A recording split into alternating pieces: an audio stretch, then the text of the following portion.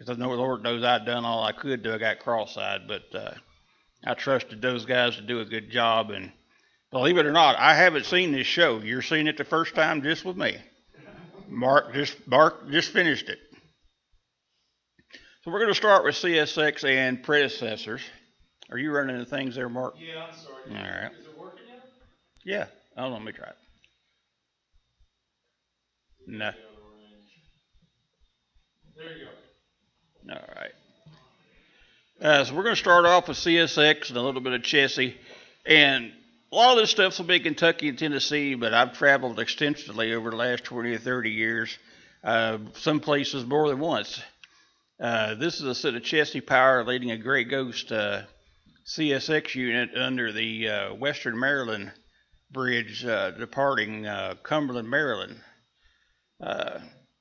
And if you need to know the dates, let me know. I'm just going to kind of kind of guess it, but this would have been in the, uh, I believe the um, probably the middle to late '80s.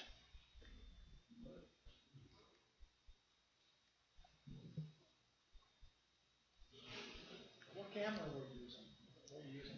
Uh, back at this back at this time, I was using a uh, Canon AE1. Uh, uh, some of the younger people might not remember the cameras that you know you don't have to have batteries to use. The AE1 was my favorite body, and uh, the only battery it had in it was a little watch battery to run the uh, light meter, and you didn't have to have that to use it. Use XK one thousand. uh, the Chessie uh, SD50, actually fairly new at that time, sitting at uh, in the helper pocket at Sandpatch, Pennsylvania, after shoving a train up the mountain out of Cumberland. And that is uh, also probably late 80s in Cincinnati, uh, somewhere around CUT.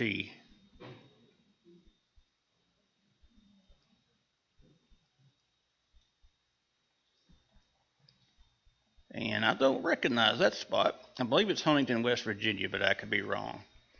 Uh, but it's, every day you see a Chessie system caboose, caboose that clean.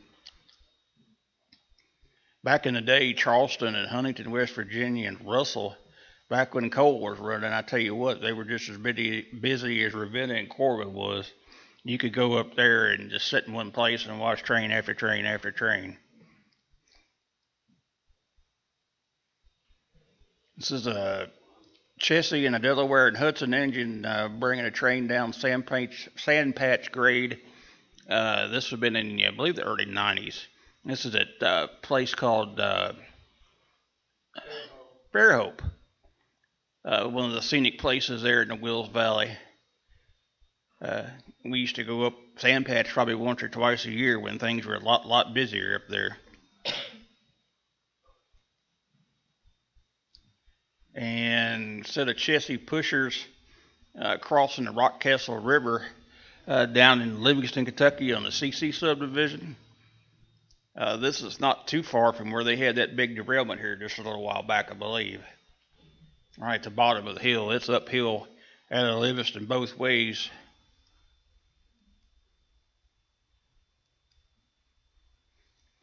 Uh, an old uh, L&N Seaboard SD40-2.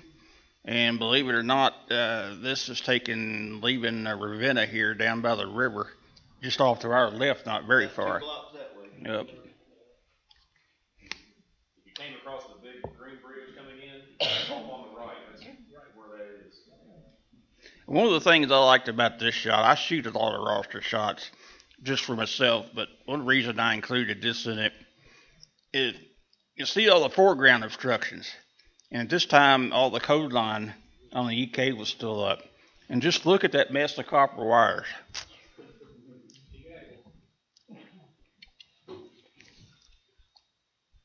Point. Huh? Oh, yeah, okay. Uh, that's a southbound leaving Corbin, I believe down around Faber.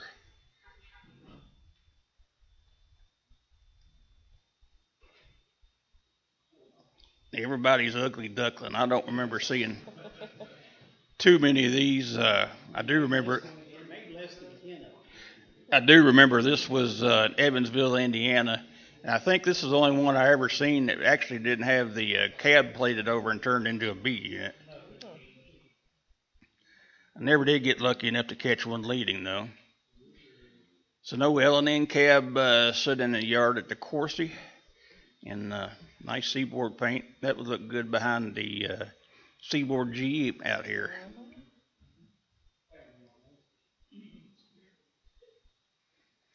And back Corbin in its better days, uh, back when GEs were actually cool to look at, uh, sitting outside the service center at Corbin. This would probably have been in the early 90s.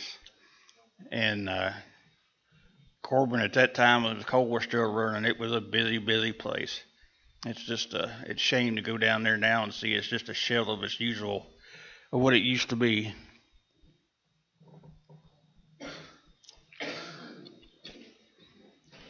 Another coal train leaving Corbin uh, down at, uh, I believe that's Bacon Creek, just just to the south side of the yard. Loads meeting empties.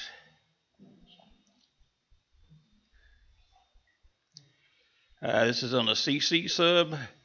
Uh, you know, uh, that's one of the early uh, unpopular CSX paint schemes there.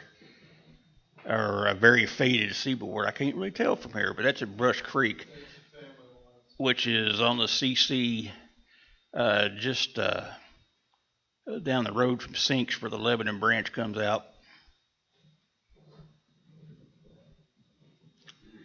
And we will be a little bit of good foreign stuff in here too, because like I say, I've traveled a lot, and we tried to include a few things that were different.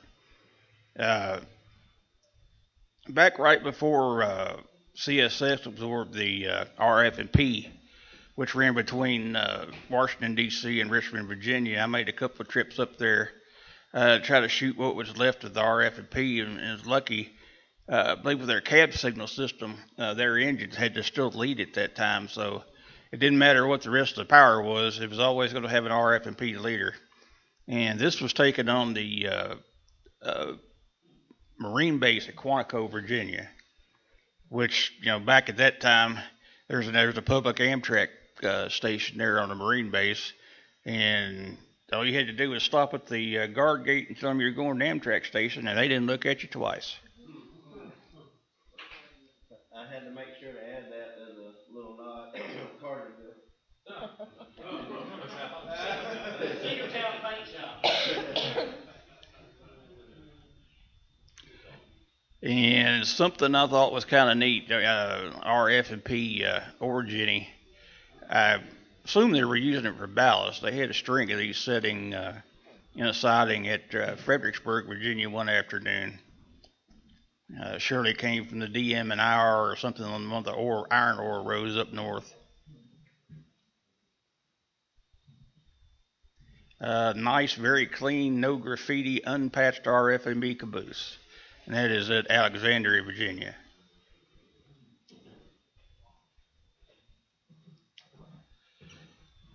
And an ex, uh, I believe it's an ex Clinchfield uh, unit uh, out on the Clinchfield. I'm not sure what tunnel that is. Uh, C-150. Okay, that's on the CC then. Uh, it was back when CSX was a little bit more fun, and you had all the predecessors and they didn't print things and you really just never knew know what was going to show up when you went out to shoot CSX.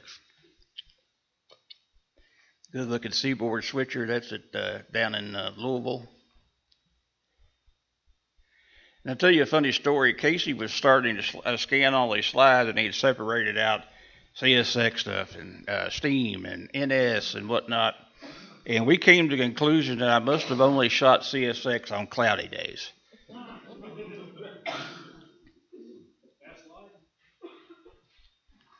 And I believe this is a Corbin uh, SDP 45 or 35, and I can't tell what that rear unit is. They'll, uh, the P, of course, stood for uh, they were uh, intended to be dual servers for freight and passengers, and had a steam generator in the uh, end of the long hood.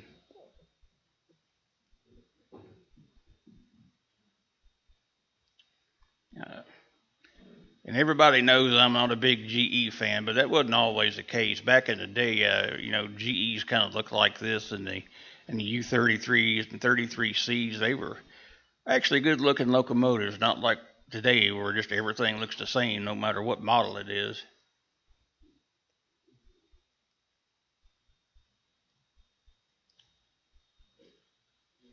Big chess or a seaboard uh, seaboat that uh, on the Y Corbin. Seaboard 1066. Uh, that's at uh, Campbellsburg, Kentucky, out on the uh, uh, LCL. And I kind of had a long running relationship with this engine. Uh, there used to be a daily local come out of Louisville, C799, that came up to Frankfort and Jet and did all the switching up in that area. And uh, me and a couple of my buddies got to know, know the crews pretty good there, but uh, seems like the 1066 was almost always the power for that job. And you'll see some more of it here coming in just a minute. Now here's some rare stuff. Can anybody tell me where that's at? Yes, but I won't. Mm-mm. That's on the line here for sale. Yeah, this is uh, it's been tore out and gone for years and years, but uh, up towards the top of Jet Hill, there used to be a place called Cliffside Junction, and that's where the uh, LNA and the RF or RFP, the uh, Ronnie B joined uh, into the existing LNN main line and went out towards Millville, and you know back in the day it went to Versailles and on out towards Richmond, and a piece that they called it the Hermitage Spur uh, there at the end, and uh, this is the the big wooden bridge just outside of Cliffside on the on the spur. Across the uh, there's a big creek right there. Capitol buildings off to the left, uh, not too far. And this was uh, probably the second or third last train they ran out there. And the only uh, customer on the Hermitage branch there uh, uh, was an interesting one for sure. Uh, down in Millville, there's uh, remnants of several distilleries, uh, whiskey and bourbon distilleries down there, and one of them is Jim Beam. And Jim Beam uh, didn't have a lot of uh, bottling capacity that I needed, it, I believe it's Louisville. So uh, when the distillery in Louisville made, you know, 30,000 gallons of bourbon, they loaded them in uh, tank cars, shipped it by uh, CSX uh, down to Millville to the plant down there where it got uh, uh, put into barrels and uh, stored at the warehouses down there, then eventually bottled. That was the only traffic left on that line uh, when they pulled it up, and the distillery fought. The distillery fought head and nail to try to keep the railroad, but that line had a couple of big bridges on it, and uh, it just wasn't. I guess CSX it just wasn't worth maintaining it for the little bit of revenue that came from it. Yeah. If yeah, if they had more than one tank car, which they usually did, they'd have to bring them uh, to all the way to Millville one at a time because of weight restriction on this bridge here and another one. That's the same bridge. That's the same bridge from uh, up on uh, the Frankfort bypass, and you can see the uh, Capitol in the background. Are any of your shots from underneath the bridge in this? I don't think so. Let me check. Those are really nice. They're kind of artsy with all the bracing and everything under the bridge.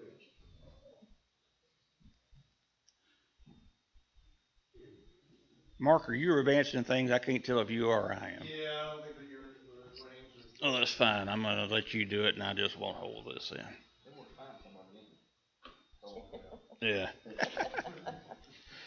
Uh, an old rugged uh, L&N caboose wearing a C- SBD patch. Uh, seems like all, a bunch of these cabooses got saved and donated to towns. I couldn't tell you where this one is, but there's a good chance it probably still survives.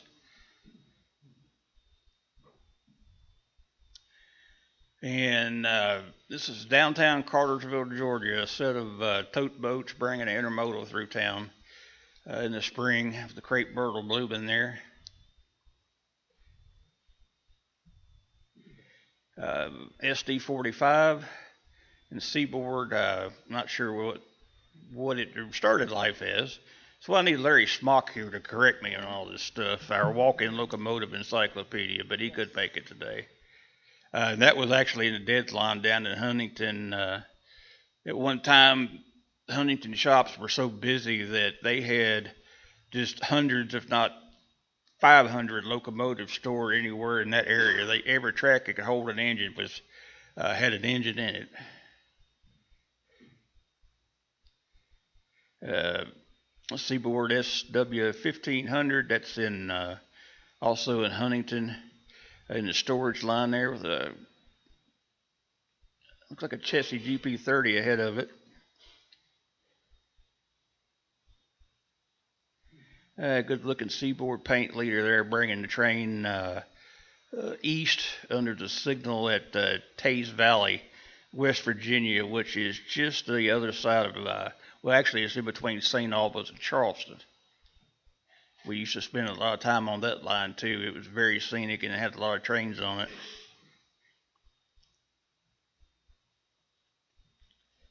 Uh, this might uh, look familiar to some of our Corbin guys. Uh, I guess most of you are familiar with the KU Brown Power Plant, which is located off the NS there between Burgin and Harrodsburg. Uh, most of their coal used to come off the a, a mine out of Hazard on the EK, so CSX would bring a loaded train in, hand it off to the NS in uh, Lexington. NS would run around it, take it to the power plant, uh, spot loads, bringing empty train back, and the CSX crew usually, if they wasn't going to be too long, would uh, wait and take the empty train back to Ravenna.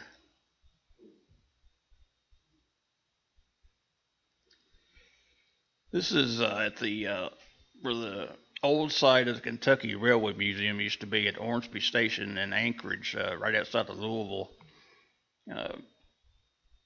Couple, well, actually three different uh, CSX paint schemes there. But of note, if you notice the uh, large green tank sitting off to the right, uh, that was my first vehicle I ever had. A 1972 40 uh, four door Pontiac Catalina, and it's a good thing it was built like a tank. I did a, a lot of rail fanning in that vehicle probably couldn't with today's gas prices probably couldn't afford to pay the gas for it. This is a train cross, a Ravenna bound train crossing the Howard Creek Viaduct just outside of Winchester on the EK.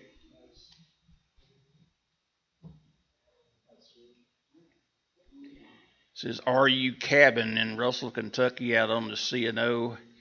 Uh, back when CSX was so busy, they were leasing anything that ran, and they had leased a whole slew of uh, Santa Fe GEs, which I always thought were kind of neat looking. That's RU cabin off to the left there. And I don't know. This might make a little look familiar. Y'all seen it this morning. A little bit different paint scheme back then, but the uh, 1100 in the storage line at Huntington. Uh, this would probably been the early 1990s.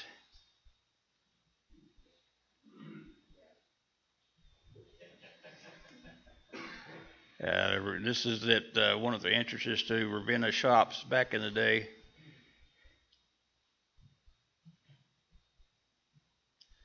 And that's also at Ravenna. Very easy to tell by the knobs in the background. Nice mother and slug set.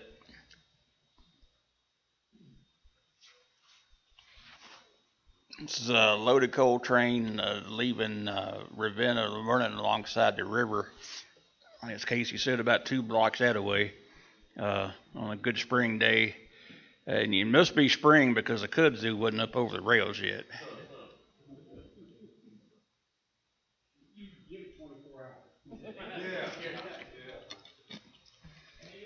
And here's one that's kind of bittersweet. Uh, kind of telling my age. I know there's a lot of younger folks here, but uh, at one time over in Winchester, where the EK subdivision uh, connected up with the uh, CC, uh, that was known as Patio, and the uh, Patio Tower was uh, one of the last manned interlocking towers of the state. when they remote controlled it in Jacksonville, uh, the tower came down about uh, probably three or four months later. It didn't last long. Uh, th- I remember this was on a Saturday or Sunday before the Monday it got tore down.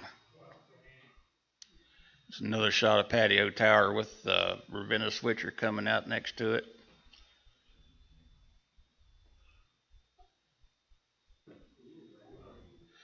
This would been a uh, CSX Derby train coming back into Frankfort behind a couple of F units and an F40 back when the uh, Derby trains were a heck of a lot more interesting. Uh, once they got away from using the uh, F units, you really never knew what was going to show up on there. It might have been a freshly painted SD40 or the most ratty GE they could find. It just didn't seem like that mattered to them. Uh, and thankfully, uh, now CSX and kind of got the kind of got their uh, ducks in a row over that. The last few Derby trains I shot, the CSX was had good looking power on it, and uh, same train uh, crossing the Kentucky River at West Frankfort siding.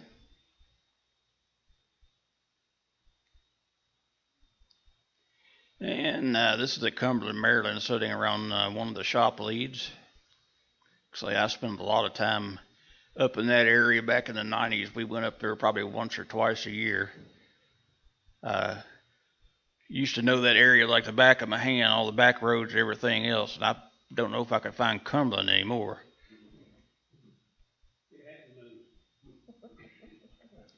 This is a westbound train uh, at Greenup, Kentucky, on the old C and O, just as departed uh, the yard at Russell, and uh, it's crossing a creek there, and the mighty Ohio River is just out of sight to the left on the other side of the bridge.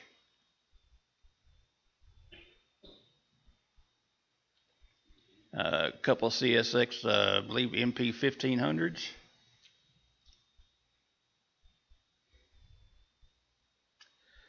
Uh, another set of tote boats at uh, uh,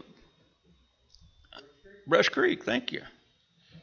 If y'all have any questions or anything, to speak up or if I get something wrong and correct me, feel free because uh, my memory ain't what it used to be.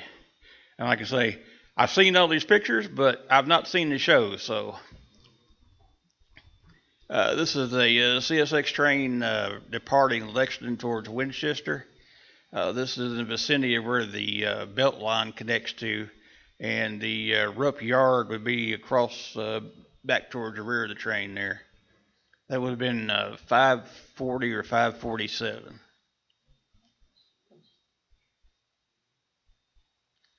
And we'll go a little bit north. Uh, Eric Landrum, who I was hoping was going to make it today, uh, had a way of getting me out of my comfort zone. Usually, if I was in Pennsylvania, Kentucky, or Tennessee, I was happy. But for some reason, he found a way to drag me to some of the most god awful places like Indiana and Ohio and Michigan. And uh, yeah, no, it was rough. But uh, uh, this was taken in the early 2000s, and even back then, this was kind of a rare shot. This is a train going towards Washington uh, Courthouse. Uh, this is a Lagouti, Indiana, coming across the B&O out of Cincinnati. And while we're in the CSX section, this is a CSX motor, but this is actually on the NS coming through downtown Harrodsburg.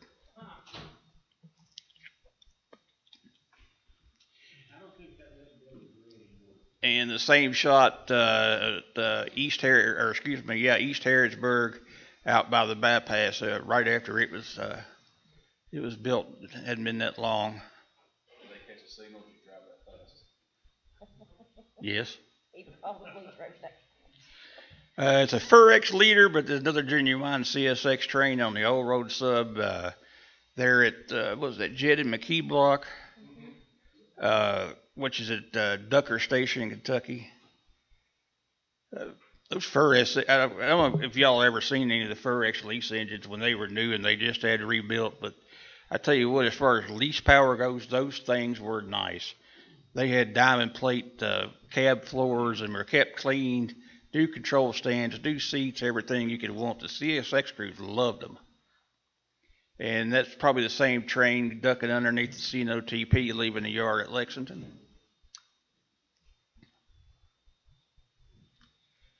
And this was uh, more than likely a local. Uh, this is an HK Tower coming off the EK sub onto the LCL there uh, just outside of Anchorage, Kentucky. And we'll say these are BC, before Corman. Uh, me and a couple of friends of mine, uh, when we started hearing rumors and then found out for sure that uh, Corman was going to be taking over the old road, and even though we still shot it, you know, it was in pretty much in our backyard. We shot it a lot anyway. We really went to town on it after that. I've got a lot, lot of pictures. Uh, this is a CSX Lexington yard job somewhere out on the belt line.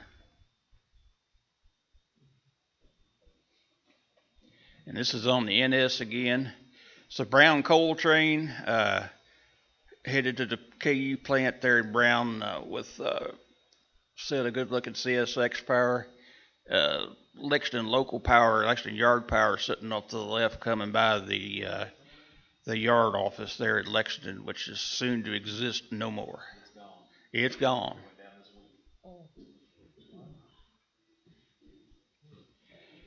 And this is downtown LaGrange, Kentucky. Uh, this is not that old of an image. I believe uh, I'm trying to remember. This was 2010 or 11. I went up to Summer Rail, uh, me and Chris Starnes, and uh, once again that Sunday, uh, Chris drug me off to places like LaGrange and you know places that had funny looking engines like this on it, but you still got a few good shots. This is downtown Frankfort here, I believe.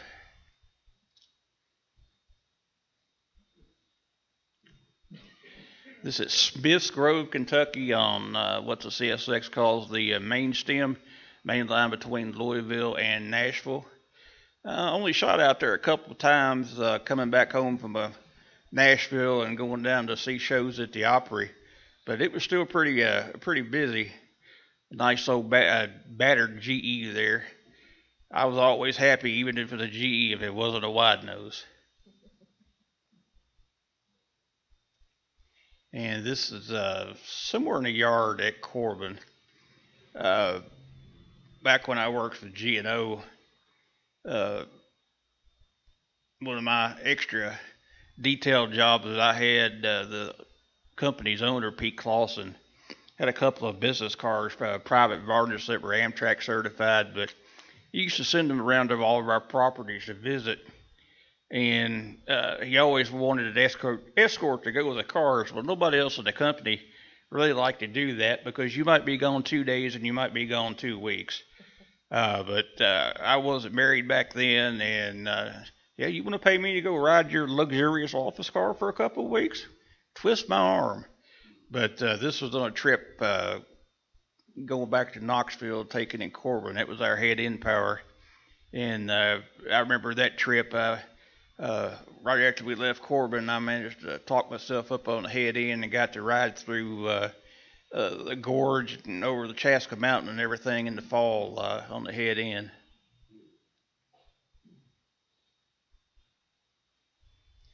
And here's another one of those, uh, those weird places. Uh, this is uh, Dawson, Tennessee, southbound on the uh, KD sub. Uh, you can see way in the background that little thin bridge. That's the uh, NS uh, K and A crossing back there. And train is just getting ready to uh, dive into Dawson Tunnel there. Uh, this is probably in the early 90s, mid, early to mid 90s. Uh, CSX making its way pumpkin with a couple of panel cars, and this is sitting in the uh, uh, set out track at West Frankfort. Uh, this is a train uh, going towards Lexington, leaving Frankfort, not too far out of Frankfort Tunnel, just starting to hit the uh, big hill going up towards Jet. Uh,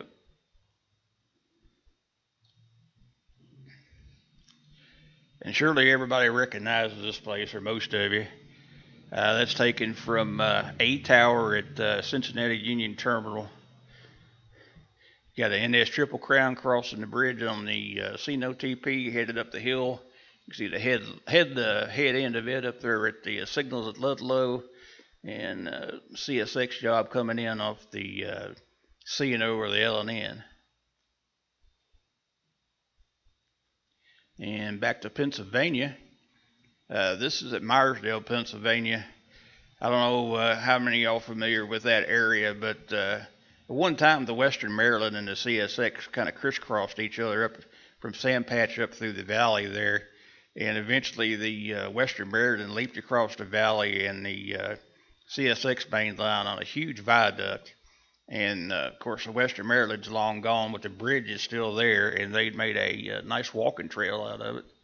And uh, we walked out there on the bridge one afternoon and just kind of hung out. You usually didn't have to wait too long for a train to show up. Uh, we'll skip back to Cumberland, Maryland. You know, in Kentucky, we don't have a lot of uh, Amtrak. You got the Cardinal, and that's about it. And it runs mostly dark both directions. So, anytime I was anywhere to shoot Amtrak, I always liked to do it uh, just because it was kind of a oddity to me, and I always liked the F40s. Uh, but this is the uh, Capital Limited leaving Cumberland at Viaduct Junction, and uh, few of the few of y'all might recognize the uh, lady in the blue shirt squirt, uh, squatted down there taking her own picture. That's my mom.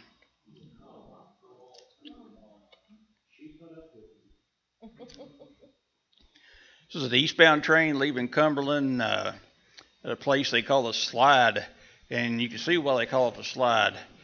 There's a absolutely old and humongous uh, limestone quarry just back around that curve, and uh, that scar's been on the hill as long as I remember, but it's not where they had uh, done any quarry or mining. It's where they took so much out of the bottom of the hill that the hill finally slipped.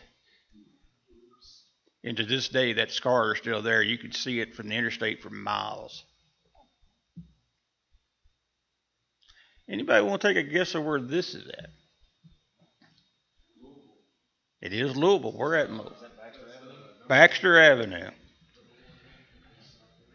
A lot of people might not know this, but at one time, uh, L&N ran some commuter trains around Louisville, and this was one of their suburban stations at Baxter Avenue, which is but is uh, uh, uh, Evan was it MN Tower?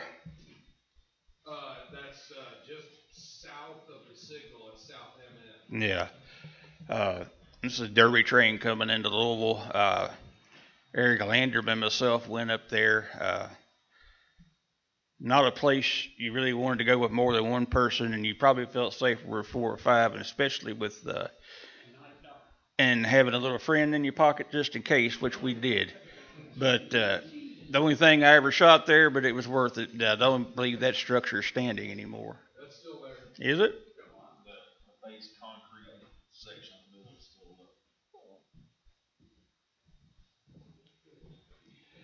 And I didn't bore you with too many signs, but I always like shooting signs, especially safety signs. NS's were always kind of eh, bland. CSX had uh, some really good ones. Uh, I don't think I've got any pictures in this show, but like leaving Cumberland, uh, they had a set of Burma shave signs leaving the Cumberland eastbound, going up through the uh, Narrows. This is uh, entering the KD sub. Now this is going to get to back to a more modern era. This is 2015.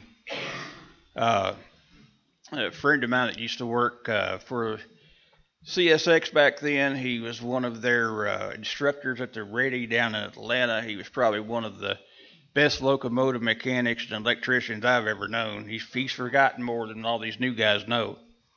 And uh, he was going to be in Corbin doing some training, and he called me a couple of days before, and uh, he said, uh, It's going to be kind of quiet around the shop Sunday. He said, If you'll drive down here, uh, you can have the run of the shop for the day.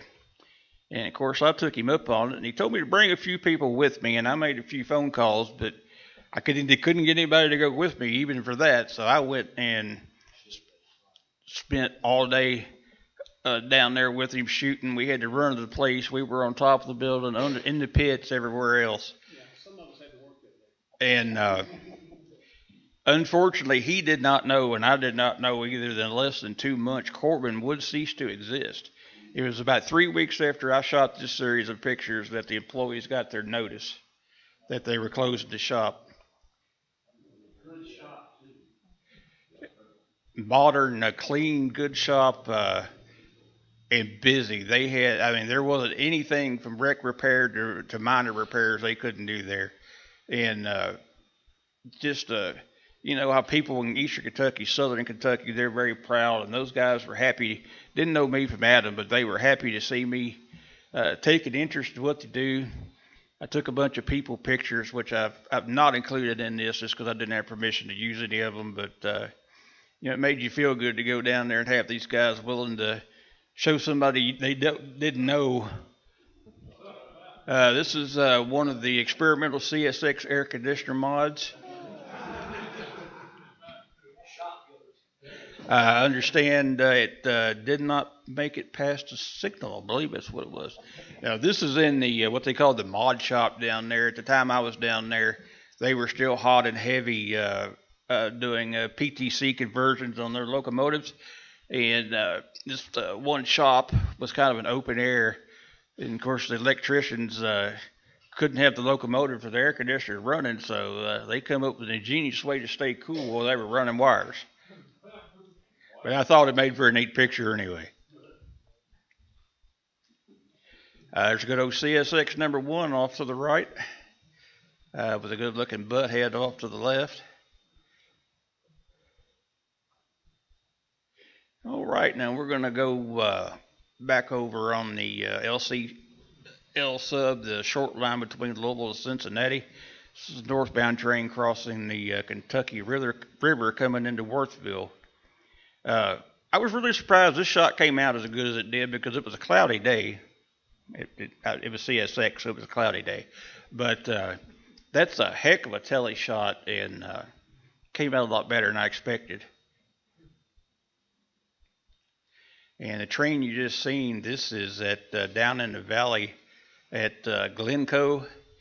Uh, two trains meeting. And if you can see in the fog and the mist, on the right hand side of the screen up towards the top uh, horizon right before the trees end, Can y'all see that highway bridge? All right, that highway bridge spans where Eagle Tunnel used to be up there, the tunnel that collapsed and they had the daylight.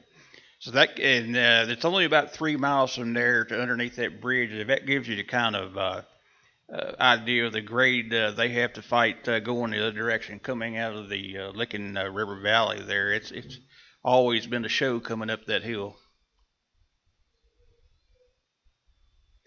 And this is taken standing on the bridge I was just talking about. This is a Cincinnati bound train coming around the curve. You can see Glencoe and way back in the valley, Sparta uh, in the background. And the old entrance to the tunnel is probably just four or five car lengths uh, in front of the train there. Uh, they had a really bad accident. I forget what year it was. That tunnel had been uh, prone to collapse a couple times before, and they'd shortened it and shortened it, and then it caved in. Uh, I believe uh, on a train uh, several years ago. So after they got the mist cleaned up, they just went in and daylighted the thing and uh, uh, got rid of it. Huh? Eight, yeah, seven, seven or eight. Uh, one of my more favorite CSX shots, and I can't believe I'm saying that, but there it is. Uh, this is also on the LCL sub uh, of the the uh, short line train uh, coming up uh, Banklick Hill, coming underneath the C&O Bridge at Walton. And SpongeBob bringing a train down the valley. Uh, Tyler, are you in here? Tyler Harden? Oh, I believe that's at Sparta. I could be wrong. Yeah. And I don't remember this location here. Uh, this this this was a digital shot back uh, around 2011 or 12. One of our trips home from the Opry uh, on a Sunday. I always followed the CSX back home, and uh, this is uh, somewhere just north of the Kentucky uh, Tennessee state line. And here's a shot I'm real proud of, and I was telling some of the guys when we were looking at looking through some of these pictures uh, before everybody came in. Uh, every time I've showed this particular image on Facebook, any of the locals around here, I don't know how many people have tried to figure out where I took this from. And people that live in Frankfort couldn't figure it out. And it was taken up on Armory Hill. Uh, this was a Sunday morning. Uh, the Derby train had come back to Frankfort that night and unloaded. And here you see they've shoved back out onto the main, getting ready to go to Lexington and uh, cross the CSX main to go uh, back to Jacksonville. But uh, I've not seen that angle of downtown Frankfort from anybody else. CSX Derby train uh, under a Kodachrome sky. Uh, that's a place called Croppers, which is just uh, in between. Well, it's in between Bagdad and Shelbyville. Uh, there's a family that owns that farm right there. That I guess they're pretty used to being in, invaded on Derby Day now. Uh. I uh, I always made a point when I went up there. I went up to the house first and asked permission, and every, you know, did the right thing, and I never got turned down. And uh, I noticed in later years, the years we hadn't shot there, they were there after I shot it a couple of years, and people seen these shots. Uh, you go by there looking for another place, and there'd be 40 or 50 people out on these guys' farm and in the soybean fields and the hay fields and you, I doubt very highly anybody asked permission, but uh, uh, it's one of the days we had it just about to ourselves. All right, let's get to the good stuff. Well, we ain't got to the steam yet, but this is better. Mark, go back one. Uh, this is a digital shot. Now, a lot of what you're seeing is slides, but I did, did include a lot of digital stuff. Uh, just personally, I thought uh, uh, some of my work that I've done since I went digital, I, I, that couldn't be passed up. This is one of my uh, favorite NS shots. It's not on the NS. This is uh, a uh, NS coal train that was headed to the uh, Kingston TVA power plant down in Tennessee. and It's loaded on the uh, Paducah Louisville at Armstrong Mine. And this is a place, place called Spring Lake, Kentucky. And you can't see it in this particular frame. I have another frame where you can see uh, all the head end power, 120 loads, and two DPs on the rear. If there's not many places in the state of Kentucky, you can see a whole train like that. But uh, this was uh, literally two minutes before the sun was gone, and I, I was uh, just very pleased with the way this come out. Now here's an oldie but a goodie. Uh, I was uh, born and raised in Lawrenceburg, Kentucky. That's my hometown, and I didn't have much choice other than to like trains. Uh, starting uh, from an early age. My dad was a uh, avid HO modeler. He had a large layout uh, in our uh, big attic at the house, uh, and I enjoyed the models, but I kind of liked the real thing better. But this is the this has been on Derby Day 1988 uh, with the uh, Southern FP7s bringing the Derby train through town at uh, pretty good clip uh, just before dark. And I can still remember standing there with my dad, uh, watching it come through town and that M5 horn just cutting through the crossings all the way through town. And, you know, it's just something to see. And, uh, of course, the depot's gone now. Uh, the F units are gone now. But uh, that was just kind of a taste of what I grew up with there. That, that was home. I spent way too much time as a kid in my ten, you know, as a when I was in school, hanging out after school uh, there at the depot. Got to know the local crews, got to know the regular operator. And when I was 12 or 13 years old, I probably knew more about writing 19-hour train orders than anybody my age needed to know. But that's what I wanted to do. Southern GP 35, I believe, an election yard job. uh, doing uh, some switching uh, at on the power plant lead at Brown. That would have been around 1989, 1990. Changing your, changing your. Huh? Updated your clicker over there. Oh, okay. Uh, this is uh, pair of yard engines on the uh, north end west uh, yard job at uh, Danville back when they used to host host to host. Uh, they had uh, four yard jobs usually working the yard at one time. One on the north and south end of the east and west yard. Uh, and there was always uh, either uh, SW 1500 or a couple of Jeeps. That's good old days. You can see. Now here's also a shot I doubt very many people have seen. Uh, I guess most people know where the Osram Sylvania plant is over in Versailles. Uh, when I worked for the Lexington, Ohio, Osram Sylvania was our largest customer. Uh, we had a lot of customers, but Osram by far paid the bills. And uh, uh, at the time the Illinois was running, uh, they only got inbound uh, inbound material like uh, limestone and uh, cyanide and dolomite stuff, all the stuff they used to make light bulbs with. And this, the stub of this track you see here was in there, but that track came down the hill. They called it the dock track, and uh, there's a warehouse just off to the left there that would hold about eight boxcars. This time they were shipping uh, fluorescent light bulbs out of there in boxcars before they uh, switched over to trucks. And uh, Lexington Yard job that came out to Versailles uh, every day, they spent probably three or four hours uh, shuff, uh, shuffling empties and loads around and working uh, those two tracks. And they also had a track they called the gas track where they got propane deliveries to keep their uh, uh, furnaces running. And uh, of course, Osram now is gone. The plant there is not anymore. Uh, Corman, I don't believe, has any business out there unless somebody happens to maybe move into some of the industrial land out there. Uh, but uh,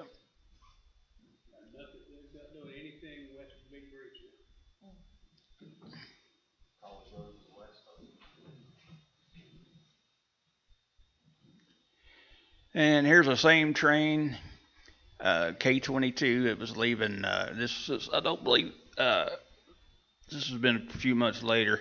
Kind of hard to tell in black and white, but there's snow on the ground. This is coming up to the Elm Street crossing, uh, coming into downtown Versailles, uh, just off the sewer plant bridge. And another thing I grew up as a child seeing, uh, of course, were the uh, uh, mid-train uh, helpers Southern had with the the remote control cars and the engines that were set up for local control. Uh, across the Louisville district, they ran at least two trains each way that were heavy enough to require one or two engines in the uh, middle. And of course, that time all the electronic gear wasn't built into the locomotives.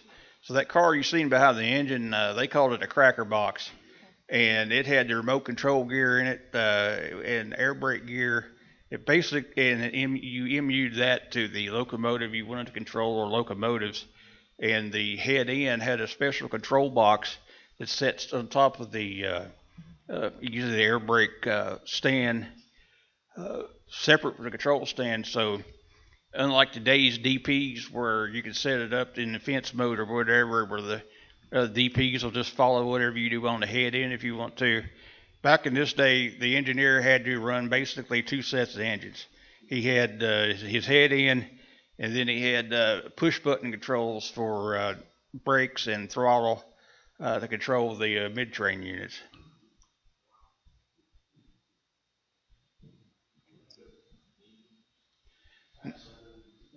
And here's a rare bird. Mark, what was that you said? U thirty three hood. I only remember seeing two or three of those uh, ever in Southern paint, and this was probably in the early to mid 80s. They were uh, that time the CNOTP was uh, uh, pretty much just EMD products, uh, but I always thought these engines were just cool looking because you didn't see many GE's with a high hood, and it just kind of gives it that gives it a brutish, powerful look to me. Now we can tell some stories. I was telling y'all about uh, I grew up in Lawrenceburg, Kentucky, uh, and there was a uh, local crew that worked five, sometimes six days a week out of Lawrenceburg. Uh, of course, they work all the mainline industries between Harrodsburg and Shelbyville, everybody around Lawrenceburg. But at that time, the uh, western end of the LL branch was in between Lawrenceburg and out to Tyrone. And in the mil- milepost three on that bridge, there was a, a Cedar Brook Bridge. How many of y'all seen uh, the Kentucky River Bridge at Tyrone? Few of you? Yeah. Joe's Joe's jumped off of it in case you want to know, uh, with a rubber band with a rubber band tied around his leg. Uh, at that time, the only thing they could use uh, power wise because of Cedar Brook Bridge, which was actually built lighter and flimsier than the Kentucky River Bridge, uh, were SW1s. And uh, the 1002 called Lawrenceburg home the whole time I was a kid. The only time it wasn't there if it went to Chattanooga or Louisville for fuel or inspections, and they would substitute another SW1 in. We got some uh, ended up being nickel plate oddballs in there every once in a while, but it was usually the 1002 and the 1007. And uh, they went out to the Wild Turkey Distillery eh, two, sometimes three times a week. Here she is looking not as good, but still looking good in the in this paint. But uh, funny story about the branch line. Uh, last year or two that they ran, that bridge, the crews were so scared of that bridge. To start off with, the uh, loads they took out to the uh, distillery, uh, they were 286,000 pound cars that were loaded to around 100,000 pounds. You know, about half. Because and uh, even though I, it was sorely against the rules, and I know the officials knew they'd do it because I've stood there and watched watched them do it with an official watching. Uh, they would shove the load for the distillery out the branch ahead of the engine. They get out to Cedar Brook, conductor would get off, walk across the bridge, and then the brakeman would uh, have the engineer kick the car across the bridge. Uh, the conductor would catch it down the other end, put a brake on it, and then they'd bring the engine across and uh, couple back up and go the rest of the way to the distillery.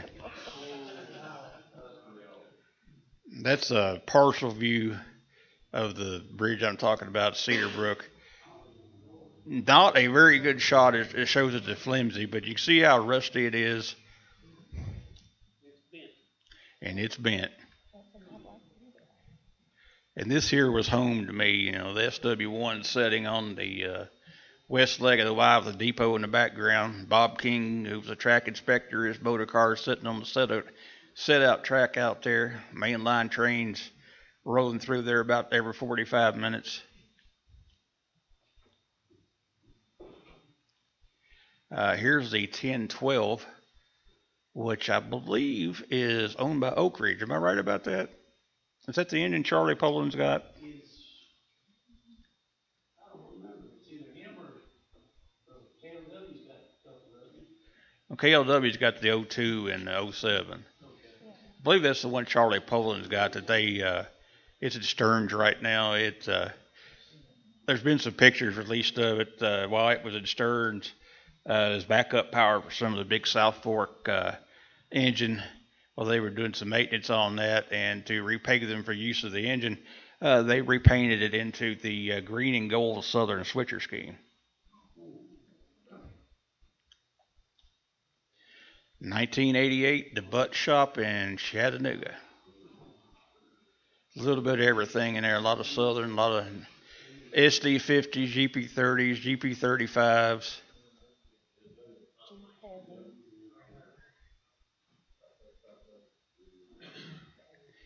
Now here's a truly, truly rare bird. Uh, this was a uh,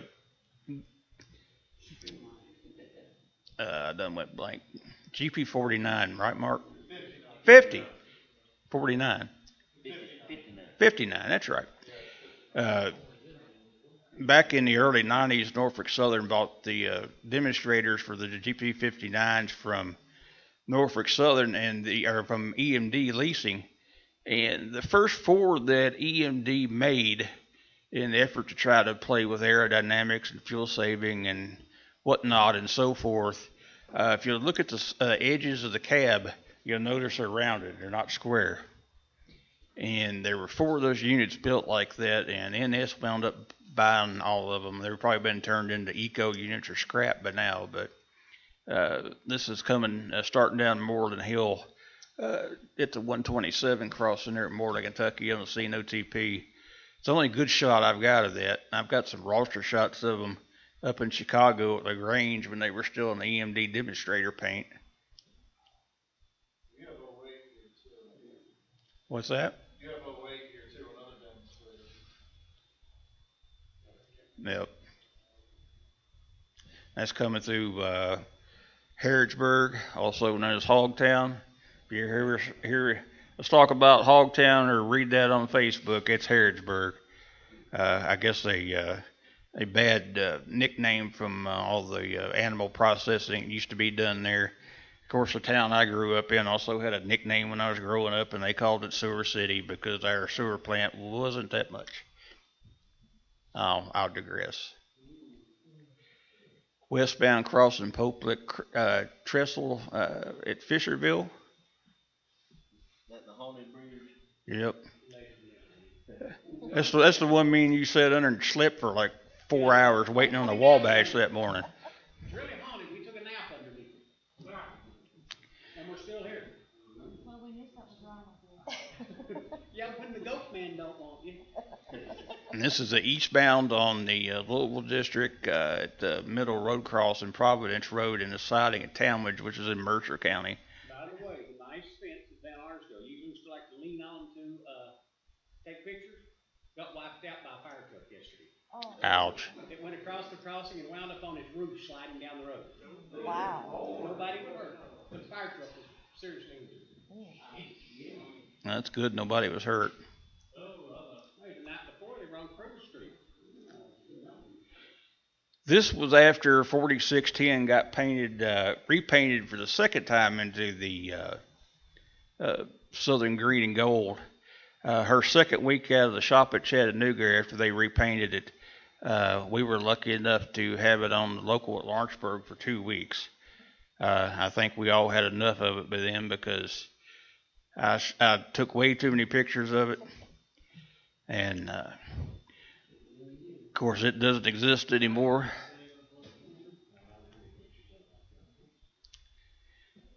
Here is uh, southbound uh, 215 climbing the Kentucky River uh, hill coming out of the valley there uh, at Brown, Kentucky, coming into Burgin. Track going up the hill to the right is the lead to the KU power plant. Uh, after the F units and before the OCS, uh, NS used to uh, run their uh, derby trains, uh, usually with a nice set of good-looking Jeeps. Uh, here's a nice match pair with the derby train headed into Louisville in the evening sun at Waddy, Kentucky. See, Casey, here's a cloudy day NS shot. This is Nemo, Tennessee. Uh, if you've never been to Nemo, it's one of those places you should visit once, but you're not just going to accidentally find it. You got to know where you're going.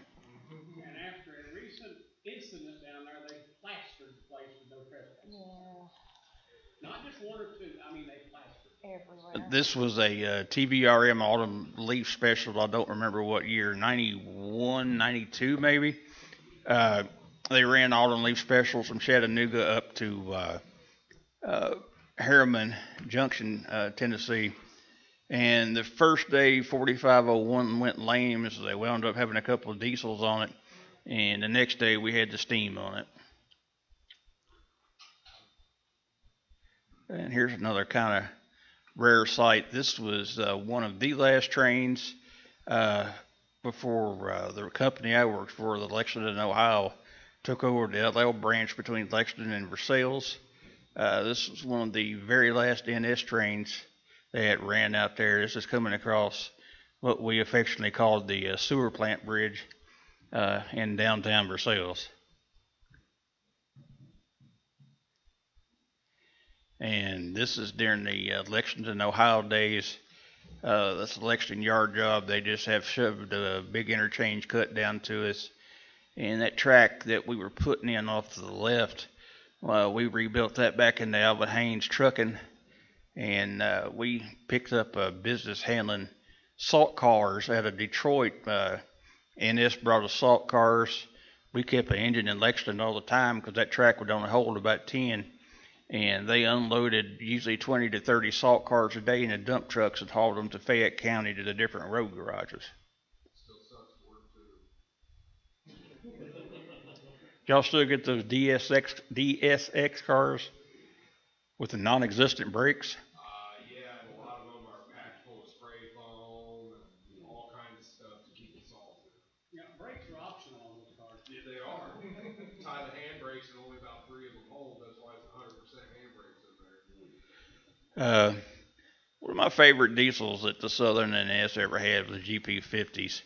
I can remember on a CNOTP or even a hot train like 229, which has always been the hottest thing out there, would have three or four GP50s on it.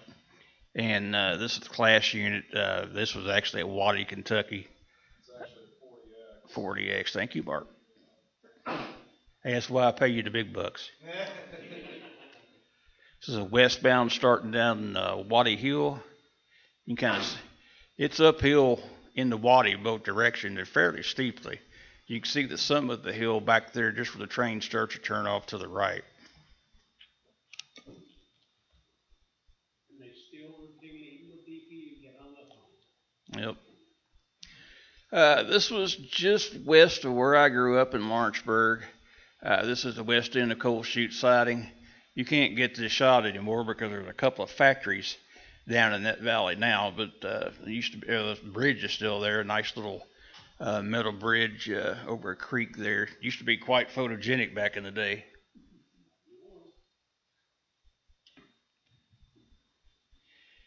And here's an oldie but goodie. This would have been 88 or 89.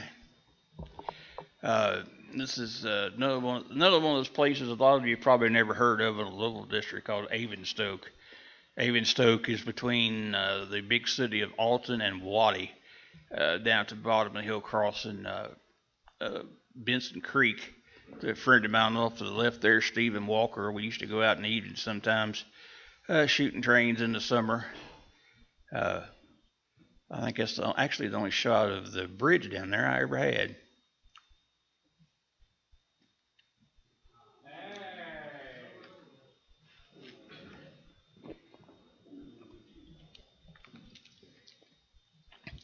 Southbound at Kings Mountain. Got a little bit of ice back in the cut. And I was talking about Nemo a few minutes ago. This is also at Nemo, southbound, popping out of the tunnel, crossing the uh, River. Me and Gordon and a few others of us used to go down to Nemo and camp for a week at a time and just watch trains and drink drink beer and shoot guns and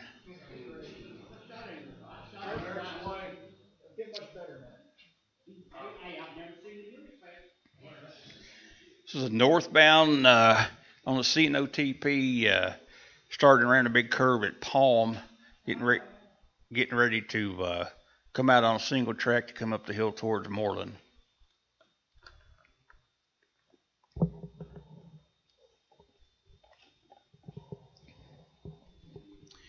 And this is a uh, eastbound Derby train departing out of Louisville. And this is back when the Derby train used to be occupied. Uh, now, when NS sends the cars to uh, Louisville, it's a deadhead move, and um, deadhead move, and they're uh, only used as a hotel while they're down there. But used to be the officials rode to town and came back on the train all the way from and to Atlanta, and uh, back during this period, it would have been occupied, and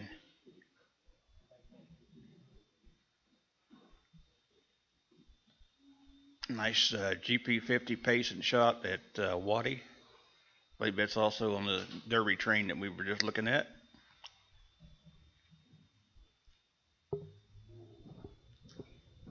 Another one of those hard to get to CNOP, CNOTP places. This is Camp Austin.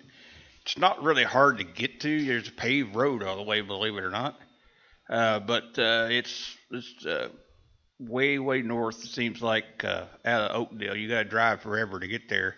And once you cross the tracks, and there's a nice several million dollar new bridge across the Emory River, and then the road dead ends.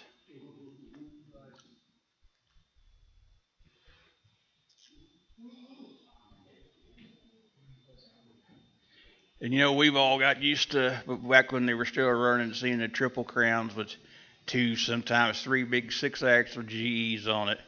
But uh, for several years after they started the triple crown service, uh, normal power would be a, a Jeep 50 or maybe a, a Jeep 60, a hot rod, and usually 50 to 75 trailers and uh, they slowly grew that into a maximum of 150 trailers. There's another one. Uh, just has it's coming up the hill, Norwood Hill, uh, leaving Somerset. A place called Cumberland Chair.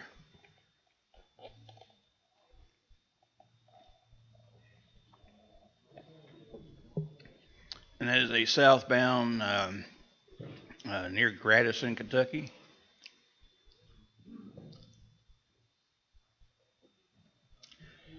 Another Triple Crown crossing uh, a creek down there, tributary of the Emory River. Um, we were camping down in Nemo, and I had always wanted to shoot this bridge. And having been through there on the train a bunch, it didn't seem like it was that far from Nemo to this bridge. And uh, it we, we we left camp early one morning when it was, wasn't very hot. Me and a couple of the guys we hiked down there and it seemed like it was maybe three or four miles, not too bad. We hung around shot trains to about noon, and then the temperature and humidity come up, and it seemed like it was about 25 miles back to camp.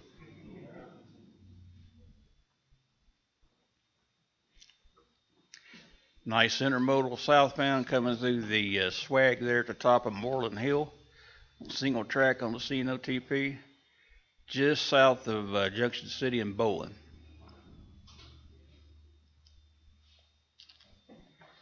Uh, another another snowy shot. Uh, this was not too long before the uh, depot at Lawrenceburg was moved to where it is now. You'll notice the uh, train number semaphore is gone, and the building hasn't been painted for a while. It's in a little rough condition.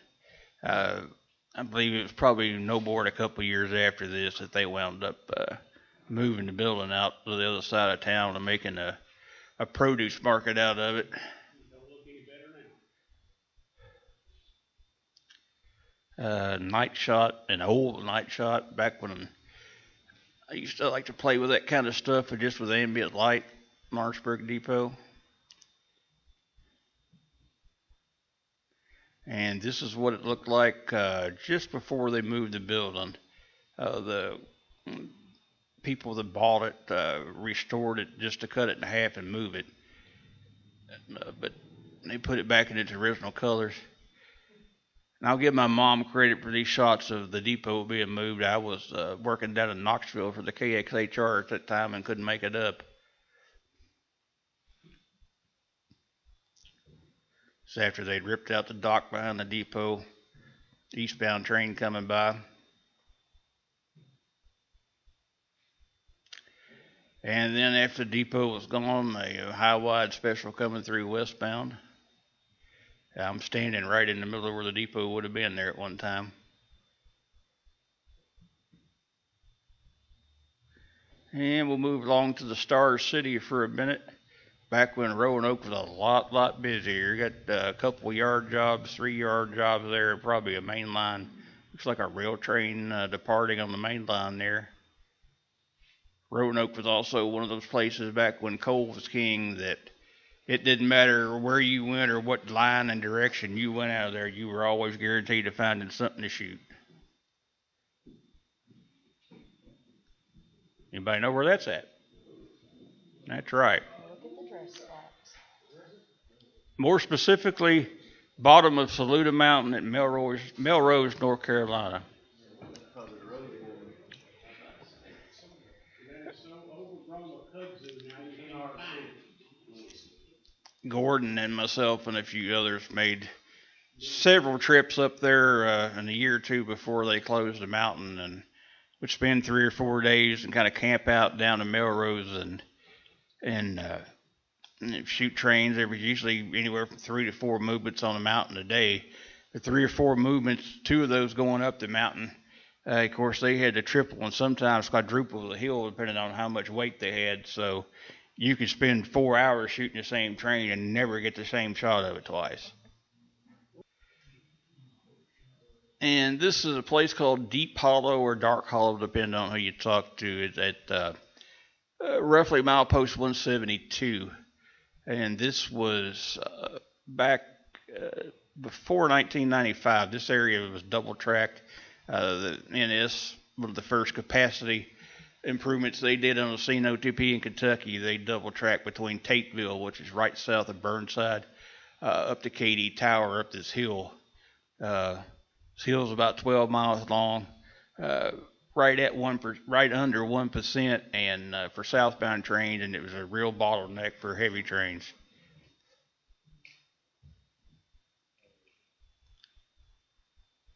And this is the Iron Triangle, Fostoria, Ohio. I don't remember what year this is. It's probably in the early 2000s. 98? It's a, a coal train coming down Saluda Mountain uh, in the vicinity of Sand Cut.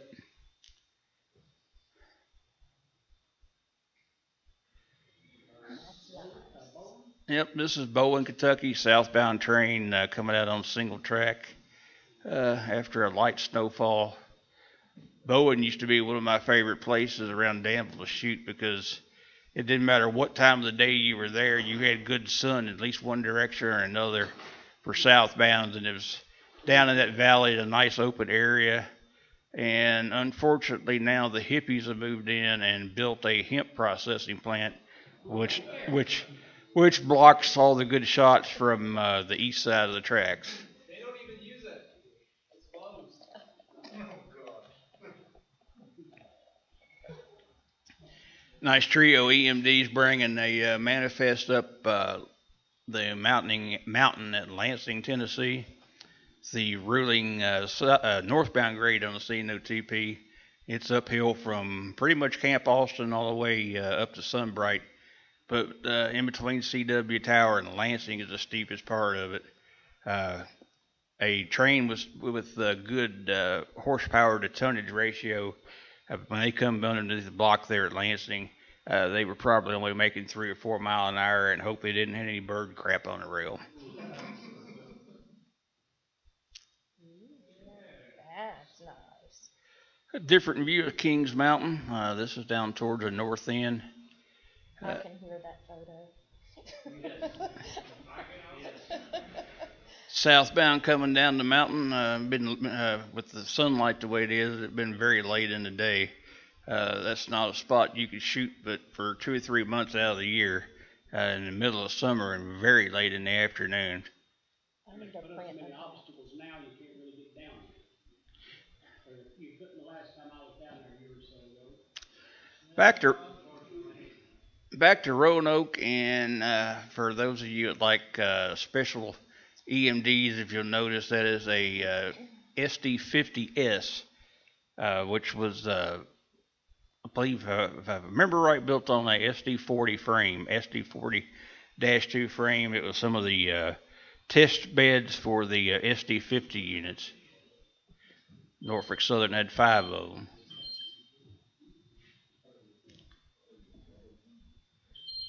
This is just north of Whitley City, Kentucky on the CNOP in the uh, snow, a place called Marsh's Siding.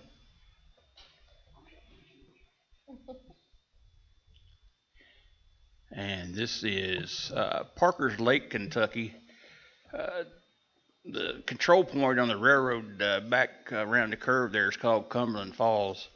Uh, but uh, this is also the where Tunnel 11 used to be located. The track and the cut there replaced tunnel 11.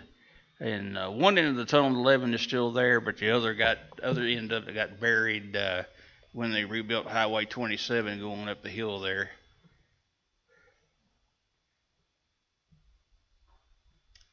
Rainy, foggy morning uh, northbound at Science Hill.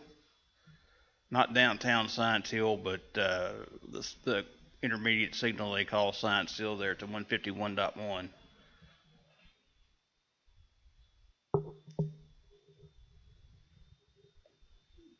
and uh, started about 2010 or 11 uh, when we realized that they were going to be probably getting rid of all of the uh, old signals on the CTF, CNOTP. I made it kind of a personal project of mine to try to shoot every CP and uh, intermediate that still had searchlights uh, just to document it because I always loved the old signals.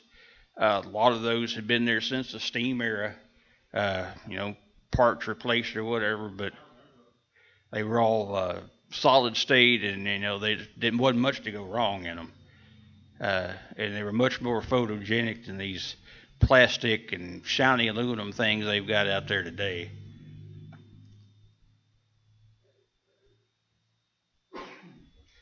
Running uh, westbound on the Louisville District, running along uh, Town Branch Creek in Harrodsburg.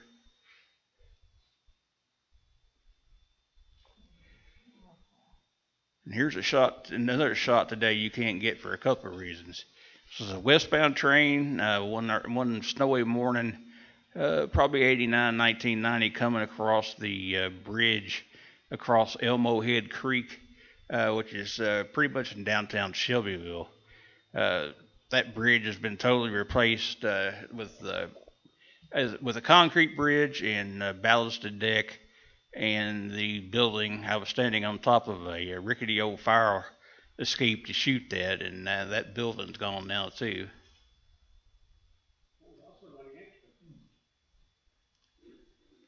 Uh, back in the day when it was a lot easier to get up on the bluffs over the uh, lake at uh, Burnside that it is now, uh, wasn't much of a climb. You just had to worry about rattlesnakes. Coming across the Cumberland River Bridge there, crossing the uh, lake at Burnside. Copperheads, uh, rattlesnakes, ticks.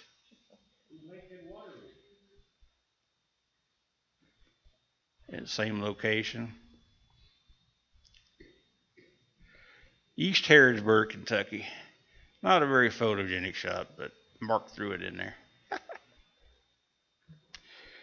And anybody that knows me well knows that if I have a choice between going out and shooting on a bright sunny day or a day when it's either snowing or pouring rain, I'm going out in the snow or the rain and stay at home on the sunny day. Uh, I've always liked shooting in bad weather, and uh, this is one of those typical southern Kentucky uh, almost snowstorms. This is uh, Junction City, probably around 1995 or so. Little closer shot of the one you've seen before.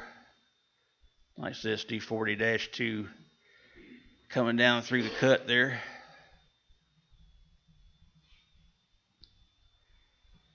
Southbound at Junction City coming underneath the signals.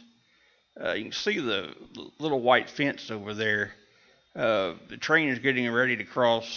Well, of course, it wasn't there anymore, but the uh, what used to be the diamond across the uh, L and N, the uh, branch, uh, the uh, Lebanon branch, and uh, right right there used to be a, just a busy little area. Uh, Southern Railway and L and N shared a depot. Uh, there was an interlocking tower there, and just to the left of that white plank fence was the old Junction City Hotel, which stood up until about 15 years ago.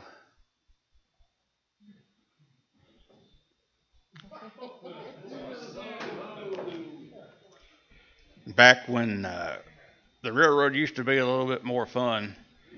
Every Christmas, the Employees uh, Association uh, at Danville and other terminals, uh, you know, on a Saturday before Christmas, you brought your kiddos uh, to the yard, and uh, Santa would come riding in on a train and meet with the kiddos and give them gifts and say ho ho ho and get back on train and take off.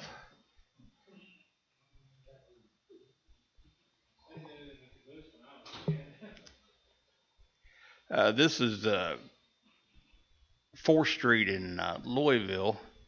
One of those places in Louisville where you probably don't want to go by yourself after dark. Uh, it'd be a uh, eastbound train.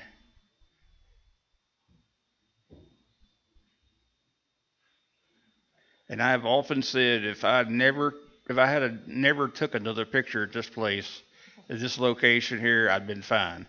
And I really preferred at least had a dime for every picture I did take here. Uh, this is a place called North Wide, just north of Danville, with the Louisville District and the Cino, P, Cino TP meet up between North Wide and SJ Tower. And uh, there used to be a little bridge across the tracks there. And uh, those lazy days where you didn't feel like driving 300 miles and chasing something and you just kind of want to go hang out and relax, that was always a good place to do it. And it was always busy. And I always had a friendly puppy dog. I'm serious, actually friendly. And don't forget Mona and the and the raccoon.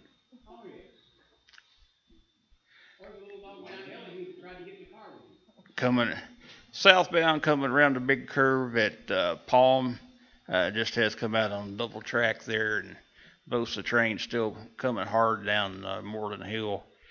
And if they're lucky, they've uh, got good signals, and they'll be able to keep their momentum up because in about another five miles they'll be starting up uh, Kings Mountain. Another shot of Pope Lick, down to Louisville at Fisherville.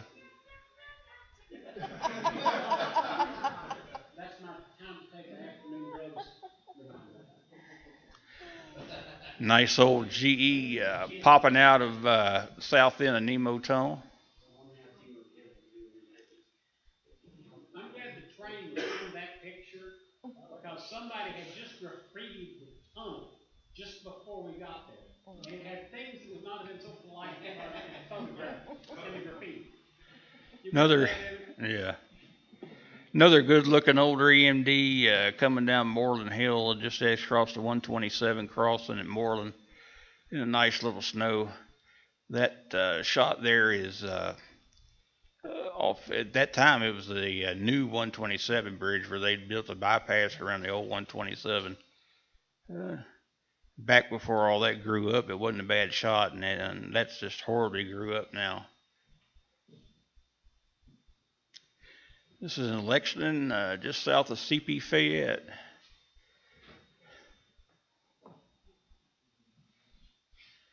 Uh, this is up in Indiana on the Middle Division.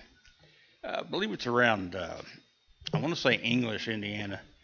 If anybody can correct that, let me know. I believe it's English, Indiana. Uh, there's two or three daylighted tunnels up in that area. They start to come down through the uh, escarpment into Louisville. But uh, that's a scene that rivals a lot of places on the CNOTP for scenery. And in Indiana, there's a, a very tall bridge over the tracks there. And uh, I've shot there several times. It was also one of those places just to kind of go and hang out.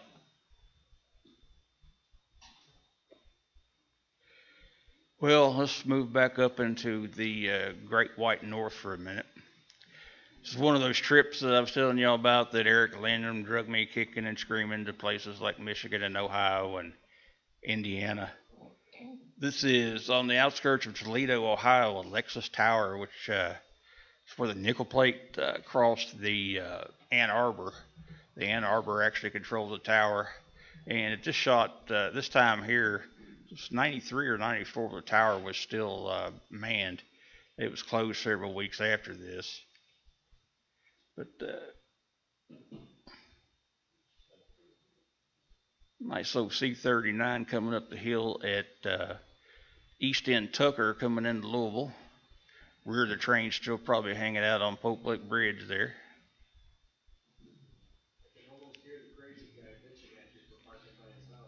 Yeah.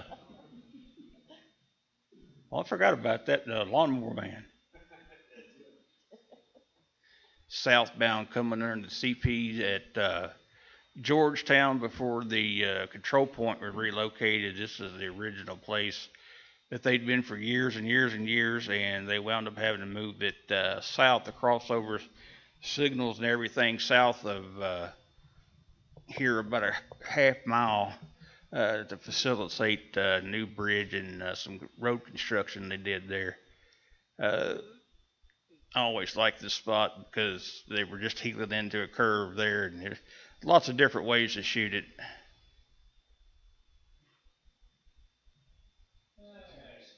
Standard old Kings Mountain shot. Y'all get tired of these in a minute.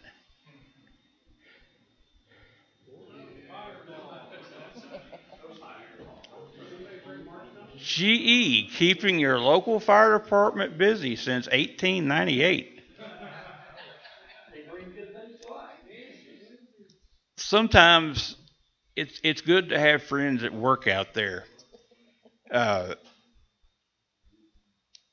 I remember we started uh, following this train at uh, Lawrenceburg, and I'll protect the innocent because they're still working. But the uh, guy that was the engineer on it had seen us at Lawrenceburg and made fire, and then come over and yelled out the window and said, "Come to Waddy." I wasn't planning on going to Waddy, but with an invite like that, you know.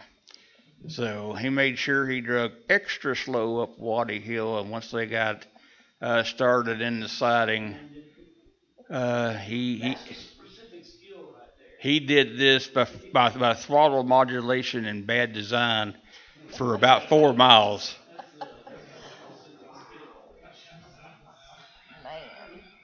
Unfortunately, uh, that was that engine did not make it to Shelbyville before the fire department actually did have to come and put it out.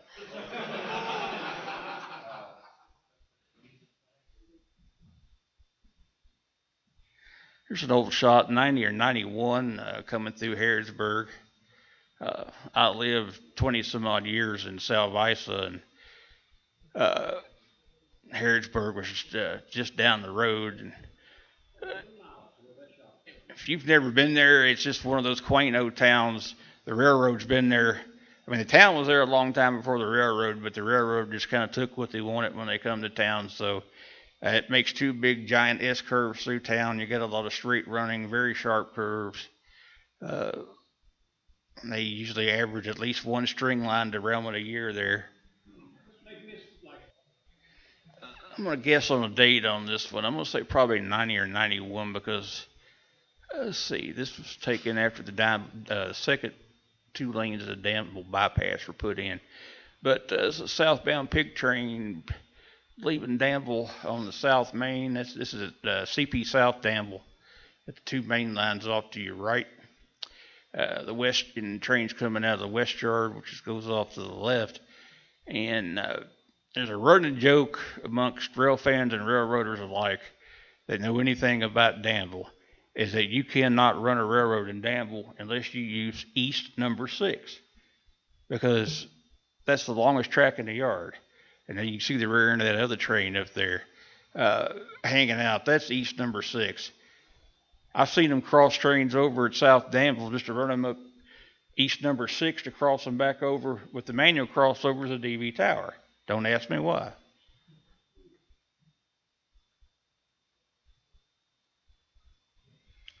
Once again, back when GEs were cool, this is pre 1991 or 92 because uh, this is at Lawrenceburg, and you can still see the uh, train order semaphores and, of course, a depot in the background. Christmas time, passing the uh, Ransdell Funeral Home in uh, Harrodsburg. Uh, the last string line derailment they had there started right there going uh, to your left.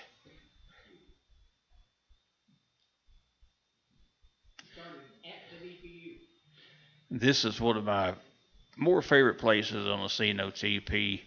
Uh, yeah, people give me heck all the time about never using wide or medium angle lenses. I like my big glass, and I like places I can use my big glass. Uh, this was uh, pre-digital. Uh, but uh, this is at Gradison, Gradison, Kentucky, uh, with uh, approximately a 640 millimeter, millimeter focal length.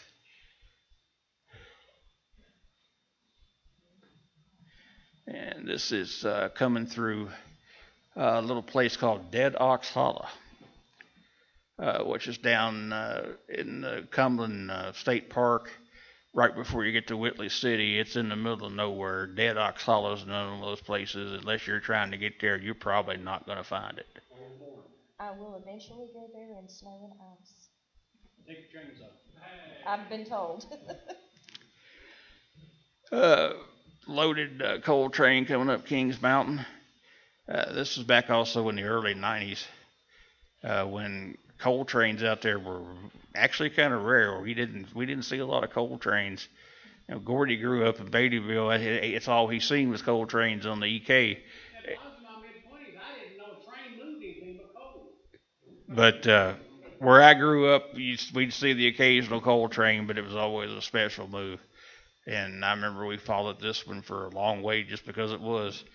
And nowadays, the CNOTP averages probably three to four coal trains a day from the mines in West Virginia, in uh, uh, western and southern Indiana, and off the uh, Paducah and Louisville in uh, western Kentucky.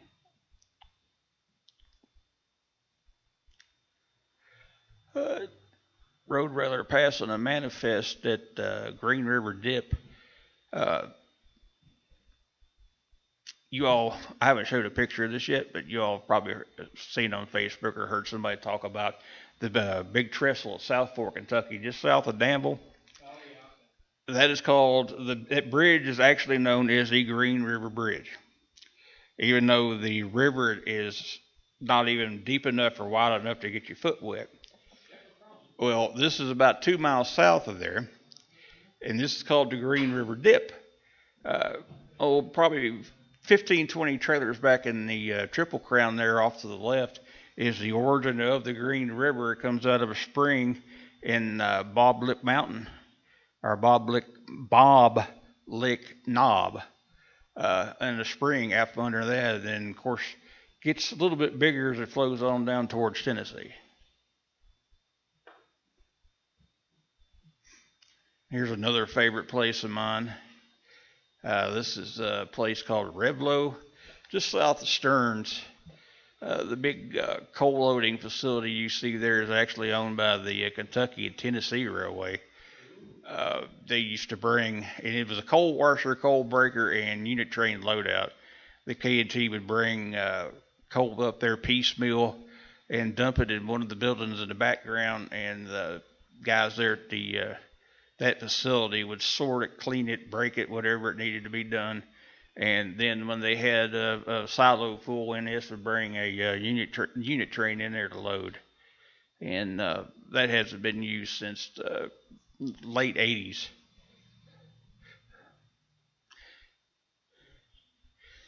Uh, another one of my uh, favorite uh, artsy fartsy shots there in the Louisville district this is not too far uh, from Salvisa where uh, I lived at. Uh, this is a place called Convoy on the railroad, Jackson Pike crossing. Uh, there's a westbound train coming at us.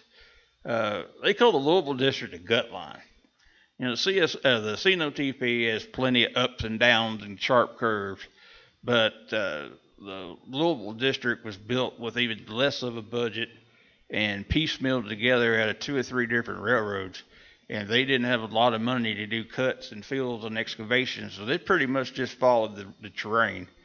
And train at this point is a little over a mile away, and uh, standing where I'm standing, uh, the engines will completely disappear down at the bottom of that cut, or down at the bottom of that dip before you start seeing them again. Uh, that's also known as Knuckle Alley crossing the uh, CSX the Corman diving at uh, Shelbyville, the old Bloomfield branch.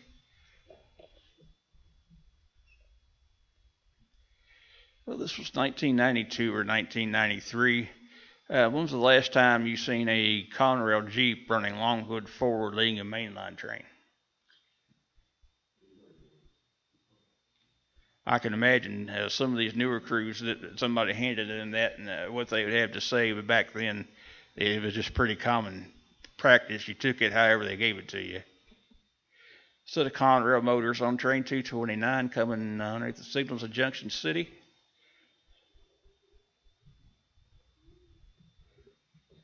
Uh, northbound Triple Crown 264. This was 2011. Coming underneath the Buster Pike Bridge at North Y there, just north of Danville. Uh, and that's actually the Conrail Heritage Unit. Always thought it was uh, most ironic that, uh, except for the uh, event at Spencer where we all got to shoot them and see them, the uh, very first Heritage Unit I shot out in the out in the wild was the Conrail Unit and uh, it literally had only been about three or four months since we, when we had shot actual Conrail units. But for,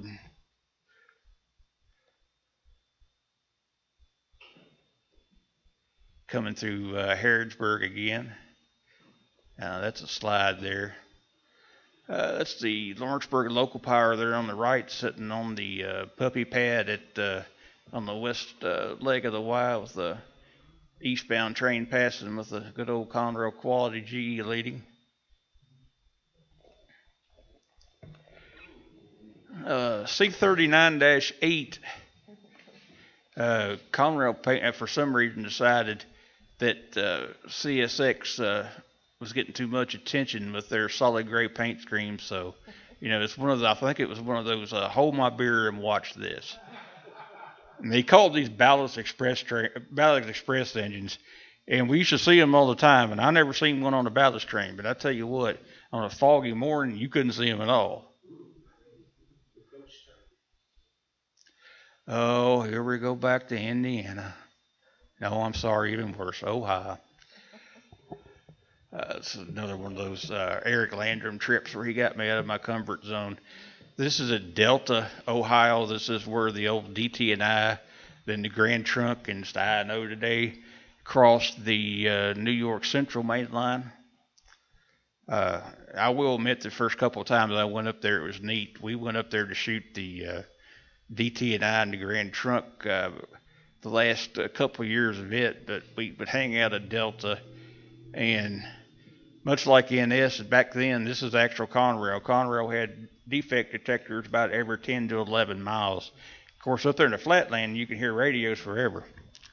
So it got to where you could not listen to the road channel on the on the in the afternoon because all you would hear was 50 miles either direction, two tracks worth of defect detectors going off. Uh, these trains are running 60 miles an hour and probably on 15 minute headways.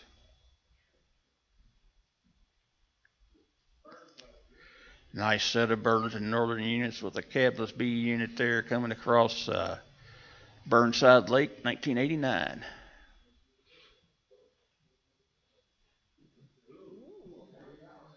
Nice Santa Fe, uh, well, almost Santa Fe pink bonnet there coming by uh, the old coal tipple at a place called Bear Creek. That's just on the CNOTP, just north of Oneida. Interesting factoid.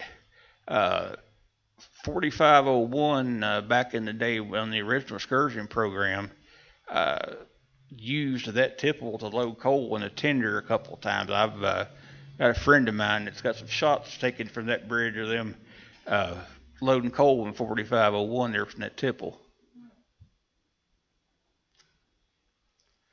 Same train coming around the curve at Parker's Lake.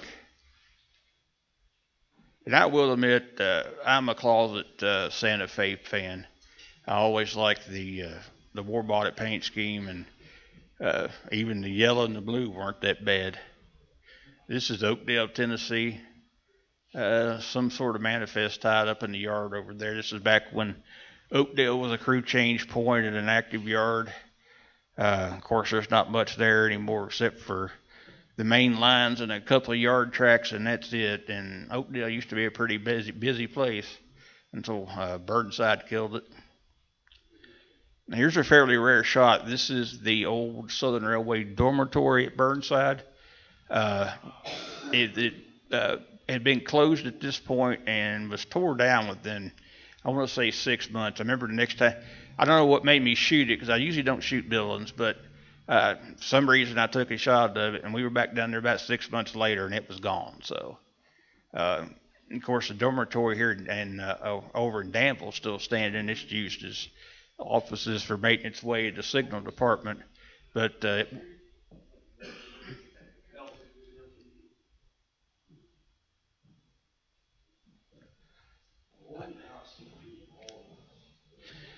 CP Big Beaver coming under the uh, signals of Georgetown, Kentucky southbound. Nice SD 90 Mac. Back when they were new. Amtrak test train, Amtrak test train, Danville, Kentucky. Who would ever thought about that? And that's actually what it was. That was the uh, uh, back in the when Amtrak was trying to get into the uh, newer high-speed train market, market, you know, where we've got the Acela now, or Acela, however you say it. They borrowed stuff from Japan and Sweden and a couple of other places, and played with it underneath these corridor. And more than anything, they put it behind a diesel and towed it around the country, saying, "Hey, this could be us if you give us money."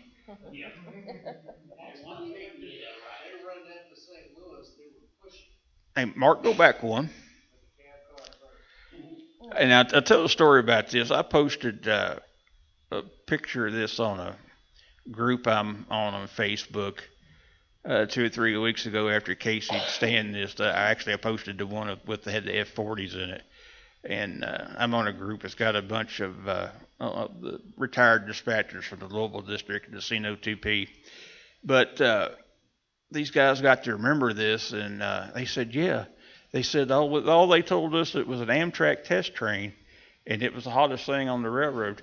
And they said well, we ran it with a Cardi crew nonstop from Cincinnati or from Chattanooga to Cincinnati without or stopping. And the only time they stopped was a change crew in Danville.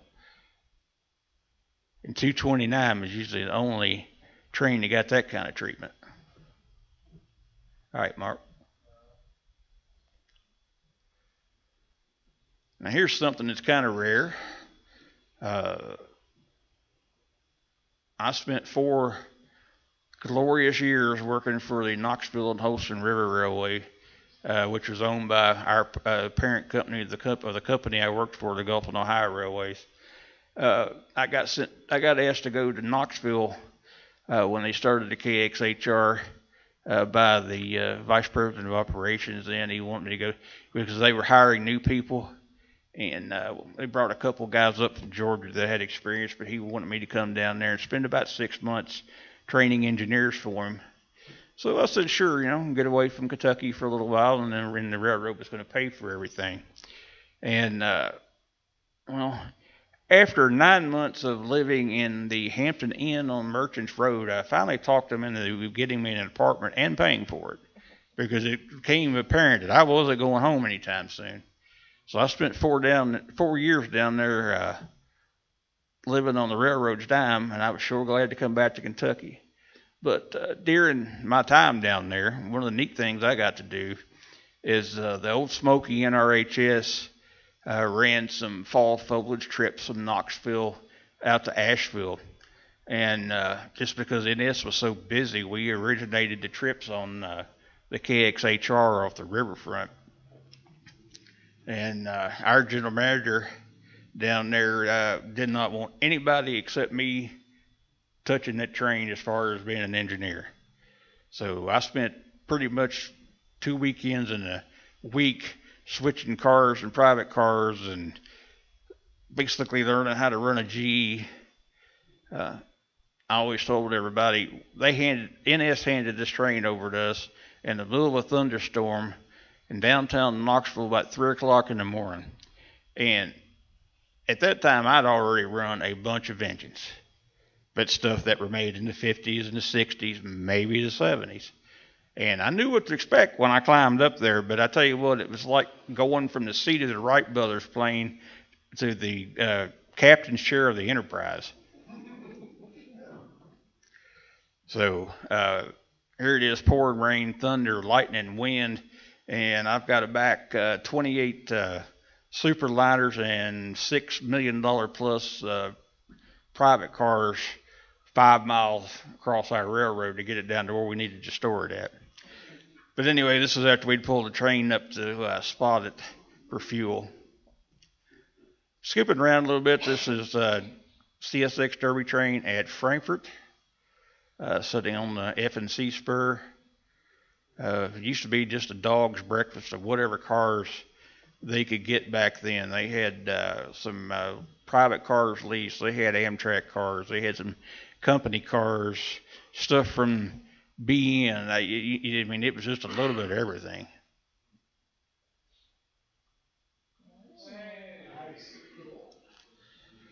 Uh, Move from my front yard, you can have that very view for yourself. Yep. With the new Credit Suisse. This is literally standing in Gordon's front yard, and the place I lived for over 20 years is just off the to the left up the road about a half mile.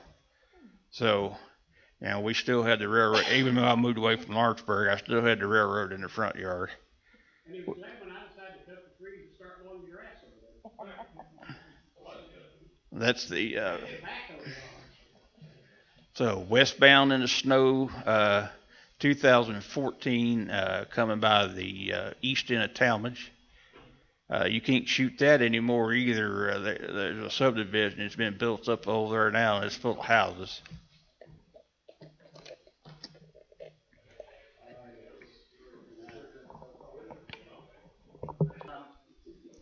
All right, well, back to the uh, snowy pictures. Uh, here's kind of an artsy fartsy shot of a eastbound train under the Louisville district coming into Niven Station, uh, which is, and I think most everybody here probably counts themselves as some kind of a railroad photographer. What does the big book of photography say about shooting into the sun? Don't do it. Well, or sometimes you just got to throw that book out and see what works. And this was a very, very chilly, frigid Sunday morning northbound wreck train leaving Danville, 60 mile an hour, bringing its own blizzard with it. With it, and uh, I just said, "What the heck? I'm gonna try it." And I really liked the way it came out. It looked better in black and white than it did uh, color.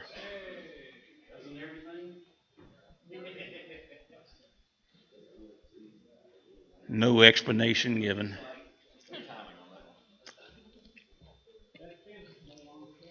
BNSF possum bringing a train uh, across the uh, field between Van Arsdell and uh, Talmage.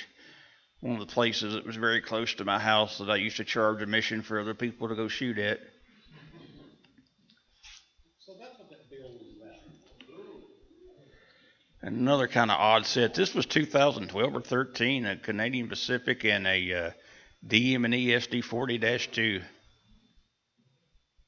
If it had been anything other than an SD60, I probably wouldn't have shot it.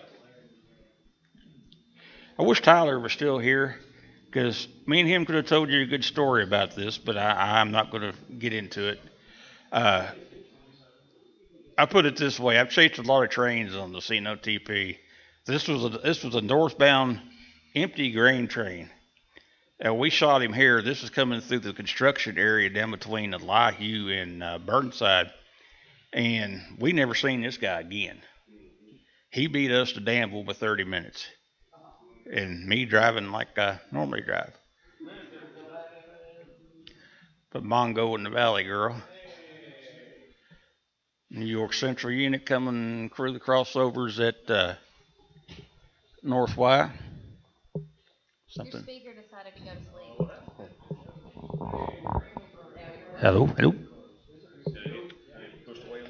Ah, yeah, it might be.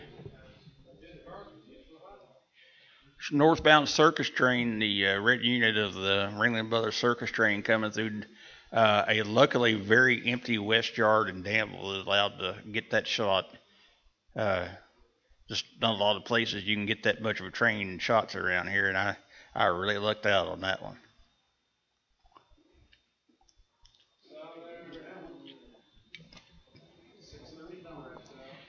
This is down, uh, what's the name of that town, Mark? Make, um, McDonald Farm. McDonald Farm, Sale Creek? Oh, great. I think I'm actually running right there. Yeah, Casey was actually running the engine here. This was supposed to have been a six thirty trip from Chattanooga to Oneida. And six thirty come up lame with a bearing problem or something back in when she was uh, still breaking in. So they gave us a southern southern uh, heritage unit, which I was just absolutely tickled about actually. But uh, I'd never been to this place before. I was actually new to crossing. It was back there by that farm and uh, driving in there, I happened to notice this scene with the light and the Walden's Ridge in the background, and I said, I don't shoot a lot of wide angles, but I tell you what, I like that, and I really did like the way it come out. I'm glad you got the barn on the left, cause it burned down a couple of years later. Same train with Mr. Thomason flying high across the New River, New River, Tennessee. So another one of these artsy fartsy shots, or excuse me, I'm not stop saying that. I got to do a Garland McKee, AF. But uh, uh, That's one number shy than the, from the engine we got Yeah. over here. That is the uh, Lawrenceburg local power reflecting in the window of the old Lawrenceburg Railroad Hotel across the street.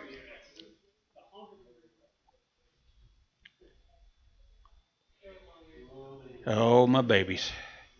Y'all have no idea how I miss these things. I counted up one time uh, after they'd went away and I was looking at all my shots. I shot the uh, these F units, I think, in 12, 13 different states. I just liked them that much.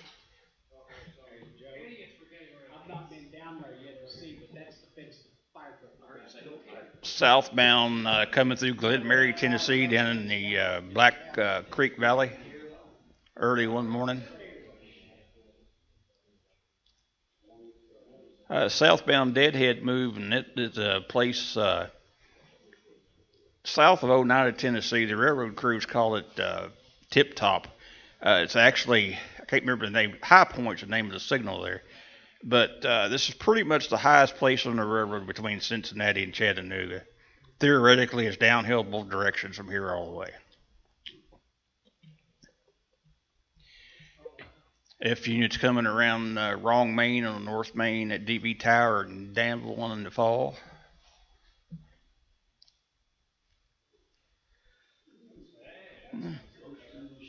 Here's one of those uh, shots that you just kind of get lucky with. I was one of these one of those F unit trips that I was chasing, and they were at going to be at a dam early. I went to Kings Mountain, and it was raining and uh, kind of foggy.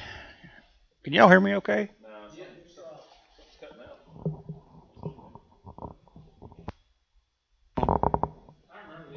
There we go. But uh, this was about 3:30, 4 o'clock in the morning. Uh, two trains meeting there at Kings Mountain in the rain and the fog. And here is the actual Green River Bridge at South Fork. Usually a southbound train to head in will go across there at uh, 40 mile an hour track speed, and if they got any kind of length at all by the time the rear end comes by, they're usually down to around 10 mile an hour, sometimes less than that, as they climb up Kings Mountain. Southbound coming out onto single track at Palm with the uh, little GRS signals. This was the last train I ever shot at Kings Mountain under the old signals, and it had to be uh, one of uh, Uncle Warren's engines, but um, BNSF coming there. This was 229. As soon as 229 cleared, uh, the signal crews and the contractor got uh, track time, and within about an hour, that signal bridge was gone.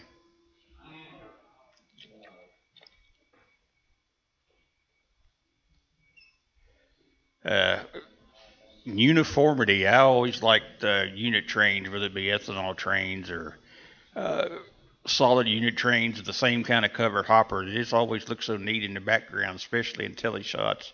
This is coming out on uh, double track, uh, taking number two track at Palm southbound, coming down Moreland Hill. The green and gold coming underneath the signals northbound at South Fork. And once again, this is northbound uh, coming into Parker's Lake. Southbound at uh, Bowen, now known as Hippie Farms. Uh, coming under one of two scenic attributes found in downtown Burgin, Kentucky. Uh, there used to be an old picket fence that was laying in the weeds on the other side of the track by the old grocery store that me and Garland McKee used to drag out and set up just to have something to frame a train with. And we'd throw it, we'd throw it back in the weeds. It disappeared, but that tree's still there. Southern unit coming uh, by the signals there at uh, 339.6 at Salvisa. Actually, where I lived at was just about a no more than a half a mile off to the left, and I'm pretty much standing in Gordy's front yard. And they call it the three thirty-nine three and the three thirty-nine four now. Yeah, they changed it. New signals, new mileposts. Let's pop over to the K and A between Harriman Junction and Knoxville for a moment. Not the busiest piece of railroad, but uh, if you find a train out there, it's worth chasing. Uh, you got Copper Ridge Mountain and pushers and uh, bridges and hills. It's a very scenic railroad if you can find something running out there. Believe it or not, it's a little busier today, I think, than it used to be.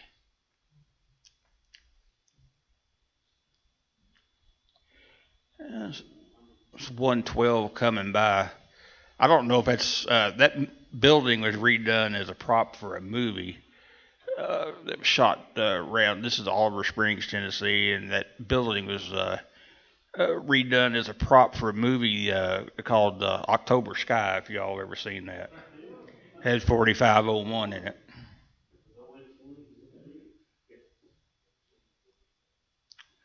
And back to Kentucky, a pair of brand new, got that new engine smell aces making their first trip on a coal train. Uh, it's coming up Waddy Hill. The original Norfolk Southern uh, unit coming around the big curve at Palm.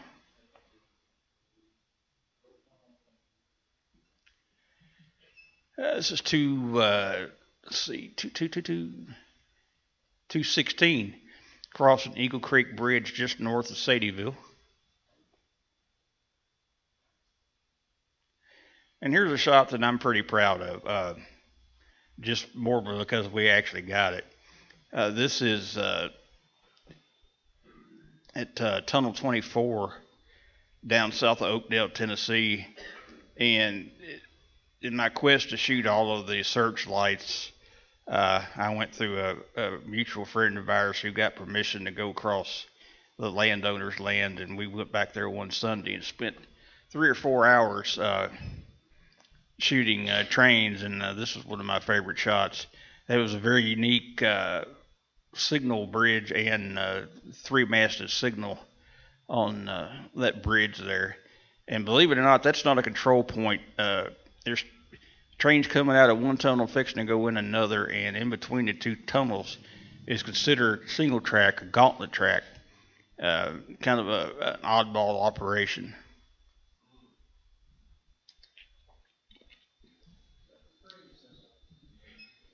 Virginian unit uh, at uh, McBrayer, Kentucky, on the Louisville District. Uh, the Peevler Bo- Blue Hamburger uh, coming by the old IC signals. This is on the P and L main coming into Armstrong, Kentucky, and Western Kentucky. TVA coal train. And same engine again on the P and L main line at Rosine, which uh, if anybody here knows anything about bluegrass music, Rosine was the uh, home of the father of bluegrass music, Bill Monroe.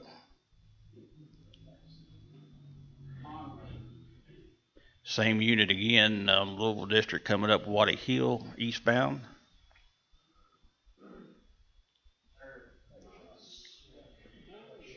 This was just kind of grab shot one day. It's uh, westbound 22A uh, crossing the old road uh, just on the uh, east side of Lawrenceburg.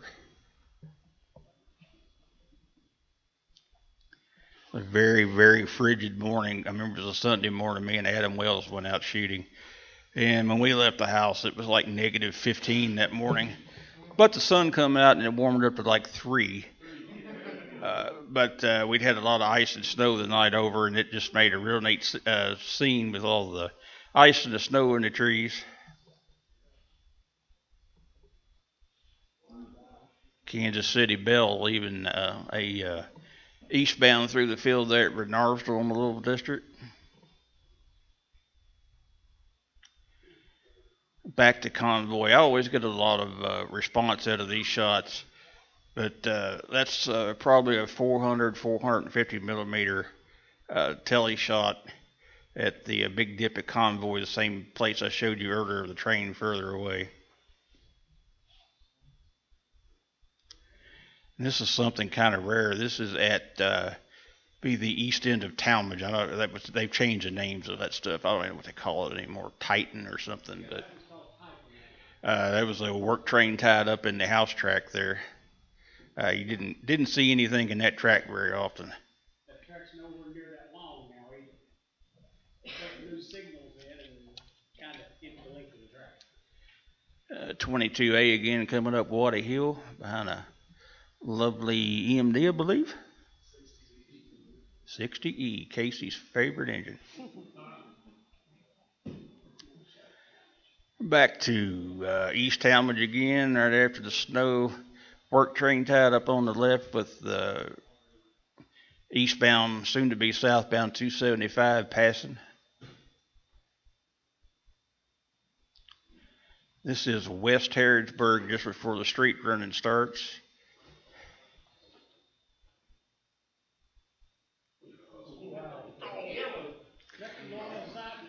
I think we've all took these kind of shots before. Those of us that's run engines at all, you've seen it from the other side, and it ain't it ain't any fun looking at that way either. But uh, the telly makes it look a little closer than it was. But you know, we used to sit there and just wait for somebody to do that. That lady was probably on her way to church. I remember this was on a Sunday morning.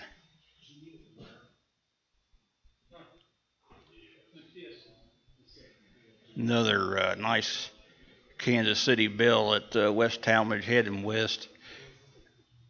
As far as some of the railroads that come out with the retro paint schemes, I always thought the uh, th- those Kansas City units were sharp. It's a shame they're gone now. Uh, loaded TVA coal train uh, starting to accelerate out of Harrodsburg at East Harrodsburg. And moving around a little bit, this is actually on the CSX on the short line, the LCL, at uh, I can't remember the name of it. I want to say Sutton. Lady of Liberty coming by the scenic new bridge and plastic lamppost that I think I think they put there just for me.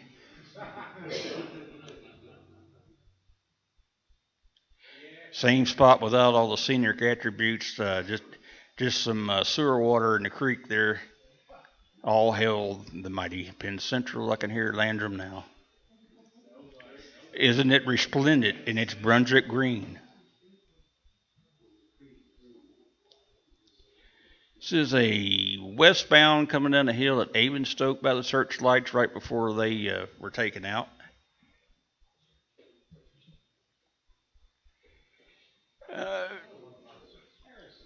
SD 40 2 leading a uh, rack train up Waddy Hill. And even at this late date, it was kind of odd to see uh, SD 40 on anything except the, maybe a low, slow drag freight. SD 70 coming over top of Waddy Hill. Virginia the uh, Virginian unit at Parker's Lake, I threw that one in there just for Tish because she likes wildflowers. Same unit again on the Louisville District, uh, coming up out of the Salt River Valley at McBrayer. And downtown they would Stoke again.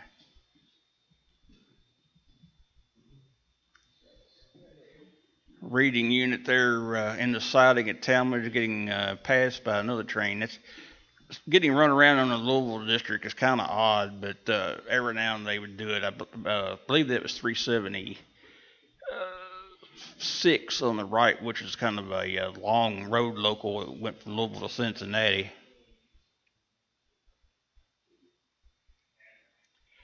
Amtrak in Thomasville, North Carolina. On whatever year is it, the uh, big maroon thing ran for the first time. The Amtrak Cardinal at Battleground, Indiana, just outside of Indianapolis, 2014.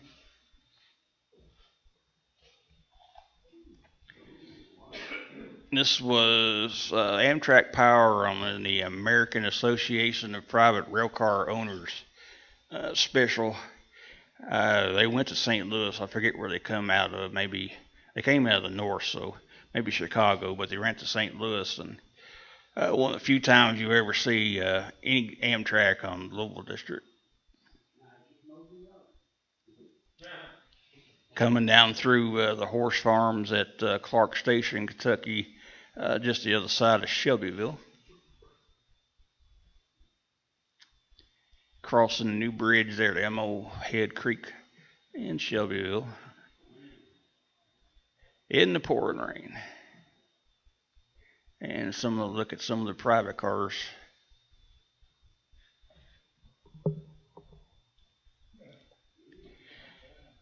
And then Casey, I know you told uh, told me to hurry up, but uh, I think the story needs to be told. This, this one's got a good one. So, was this 2014 or 15? Uh, 14, I believe. 2014, it was June or July. It was a Friday night. Uh, they were getting ready to run some uh, steam trips out of Bristol. I had worked all day, had every plan of going home, uh, sleeping until about midnight, and uh, me and uh, Gage Odell were going to meet and drive to Bristol after midnight to be in position for the steam trip when the sun came up. And I hadn't even made it, been able to lay down yet when uh, I got a phone call from Casey. He says, "Hey, what are you doing?" And yeah, no. So he proceeds to tell me that he was in Cincinnati and the newly painted uh, first responders engine would be leaving southbound. And is there any chance I could think of a place we could maybe get uh, a shot, maybe with some emergency equipment? And he would uh, let me know, and he would arrange taking care of stopping the train. Uh, I came up with a couple of places. I called uh, Chad Harpole and uh, Chad lived in uh, Georgetown at that time and knew everybody there. Told him what we wanted to do, and uh, while Chad made some phone calls to try to make, to, or, while Chad made some phone calls to arrange to get uh, some police cars and fire trucks lined up, and then we called Casey and told him where to stop the train at, and then I had to get dressed and pack my camera bag a lot earlier and drive to Georgetown, which was an hour and a half in the wrong direction. And we stayed there with the main line tied up for eh, 45 minutes to an hour. Everybody got some really good shots.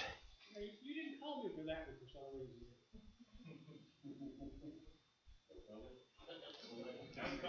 Sorry. But, uh.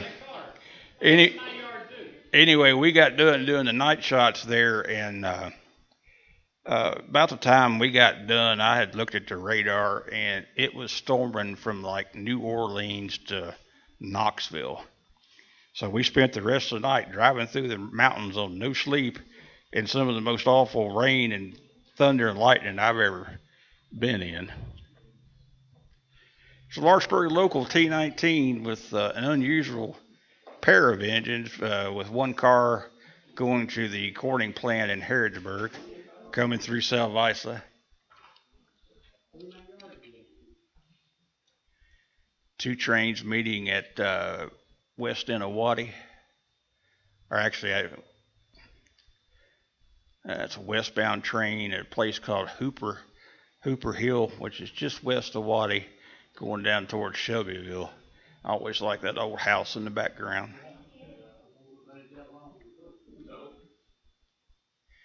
And back to one of my favorite places on the CNOTP, which is Gradison. Uh, we always called it the roller coaster. And a nice, uh, one of those former BN Triclops uh, uh, EMDs. A little bit of snow at Talmage. Perfect, perfect morning to me. Another shot in the snow at Convoy. West end of Talmage, uh, and same snowstorm. This was 2014, I believe. Uh, southbound, southbound sitting at uh, by the yard office and depot in Danville. And another one framed up by the columns there. Northbound sitting in the east yard at uh, Danville in a 2 or 3 a.m. snow squall. This was a 29N. Uh, this is in the middle of the Toyota yard at Delaplain up in Georgetown, middle of the night again. Snow coming down so fast you covered your footprints.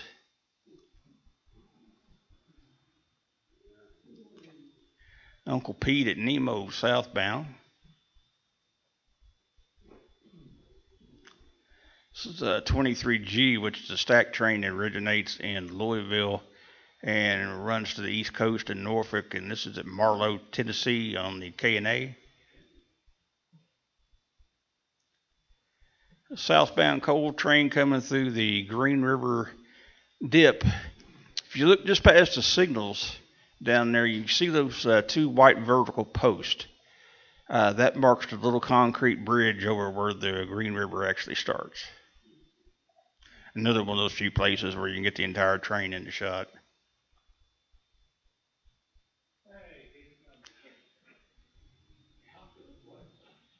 I didn't realize I had this much Kings Mountain in there. I didn't think I'd been there that many times. I'm not gonna play off, you know, I'll leave that alone. A somewhat rare wide angle shot at the Green River Bridge.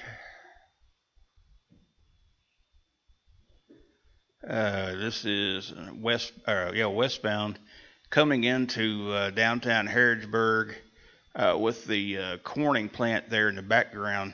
And interesting thing about that plant, uh, about two years before I take I had taken this, they had laid off most of their employees. They didn't have a lot of business and everything. And as much as I don't like Apple products, I'll say that Apple products brought a lot of good jobs back to Kentucky because that plant exclusively makes what they call Gorilla Glass, which is used on all the iPhone case, on the glass, and uh, the uh, Apple laptops and other devices. And all the raw material, if you got an iPhone, I guarantee that's where your glass was made, and the raw material was shipped by NS. Central Georgia coming around the curve at uh, Parker's Lake.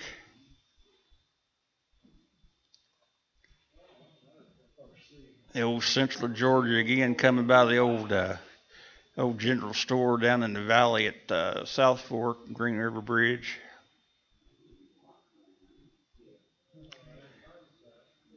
Crossing the lake at Burnside. Southbound coming across the Emory River again at Nemo. Another shot of the old Olga uh, coal company. Like I say, that's not. I, I don't know what that building was. It may, may have been a coal, a coal company store at one time, but I just I just thought it was neat the you know the way they'd restored it. And then this time the movie had been made for probably 15 or 18 years, but it still looked at pretty good. Probably my least favorite of the heritage units. Coming across the creek at Salvisa. Interstate unit with uh, 223 coming up the hill at West Talmage. Here's a shot that I got mixed reviews on. This was uh, during the NS 30th uh, birthday celebration a few of us joined Casey up there to make our cameras cuss at us for three days. Uh, this was during the uh, one public night shoot we had, and I was pretty much taking all the pictures I wanted to, and I'm just wandering around, and I just happened to notice, notice the new EMD and the old EMD in the uh, loading dock window, and I thought, well, that looks neat. Uh, I've kind of got mixed reviews on that. You like it or you don't.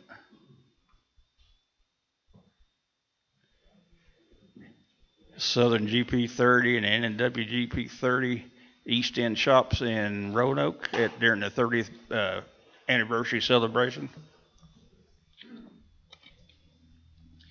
This was our photo train the last day of that weekend. Uh, freshly painted, good looking SD40 uh, bringing the train out uh, across the Roanoke uh, district. I believe that's near Lithia, Virginia. And then going back towards Roanoke, uh, what we'd all waited for, the Southern GP30 led the train uh, coming by the NNW signals leaving Glasgow, Virginia. And I believe that is, was that Solitude? Solitude. And this is Solitude, Virginia. It was the place O. Winston Link frequently shot at, of course, at night, but it's a beautiful place. And that's also at Solitude. Uh, this was going the other direction. They cut the SD 40 off just to have the three older engines there to pose for shots. The Southern GP 30 ran. The Conrail GP 30 has got a blown turbo on it and the NNW GP30 was running as long as they could keep water in it, which was about 30 minutes at a time. Charlie Poling down at East uh, Tennessee Rail Car has since repaired the uh, NNW unit there for the group in Roanoke. I hear it's pretty much a new engine nowadays. Now, no offense to those of you that work for Corman, I am. I am not the biggest Corman fan because because I'm petty. because I'm petty and harbor bad feelings. But they still still occasionally make a good picture. And here is the uh, sand train coming into Frankfort out Benson Valley. This was Derby Day 2015. Uh, we'd shot the Derby trains leading Frankfort, and I believe as soon as they got on HK Tower, the uh, sand train ran, and uh, we got two or three shots of it just because the sun was just so absolutely perfect. And this is just on the Louisville side or Shelbyville side of Frankfort down in the valley. Corman uh, Derby train at Duckers, just uh, uh, almost into Frankfort, starting down Jet Hill. Uh, this is the uh, former Southern SW1 number 1007. Uh, G&O actually owns it. Uh, we had it on the uh, Lexington, Ohio for years. Uh, poor old thing was ragged out. I think they just gave it to us because they didn't feel like scrapping it. And uh, our mechanics in Knoxville, after working on it for a couple of years, actually made a pretty decent engine out of it. Uh, we didn't use it a lot because she wasn't very strong, and we had some pretty good grades and usually had a lot of a lot of tonnage we pulled, but uh, when one of the other engines are down, our our mechanic wanted to work on an engine. We bring a train into uh, Versailles or wherever with the road power and uh, climb on 1007 and doing their switching. And uh, all these whippersnappers we had working for us, I was still, I think Gordon and me were the only two people that would run that engine because it did not have a 26 brake on it. Nobody know, knew how to use the old brake schedule that was on it. Twenty-six is confusing, you don't have enough notches. Was that the one that, uh, Corman stole? Oh, it's coming up. It's coming up. I got to tell a story about that one too. Uh, one below seven, uh, we were switching uh, Osram out there coming out of the gas track. And I'm standing on top of the old uh, gas track unloader there. Like I say, that plant, everything you see there except uh, for the new warehouses that's out of view off to the left is gone.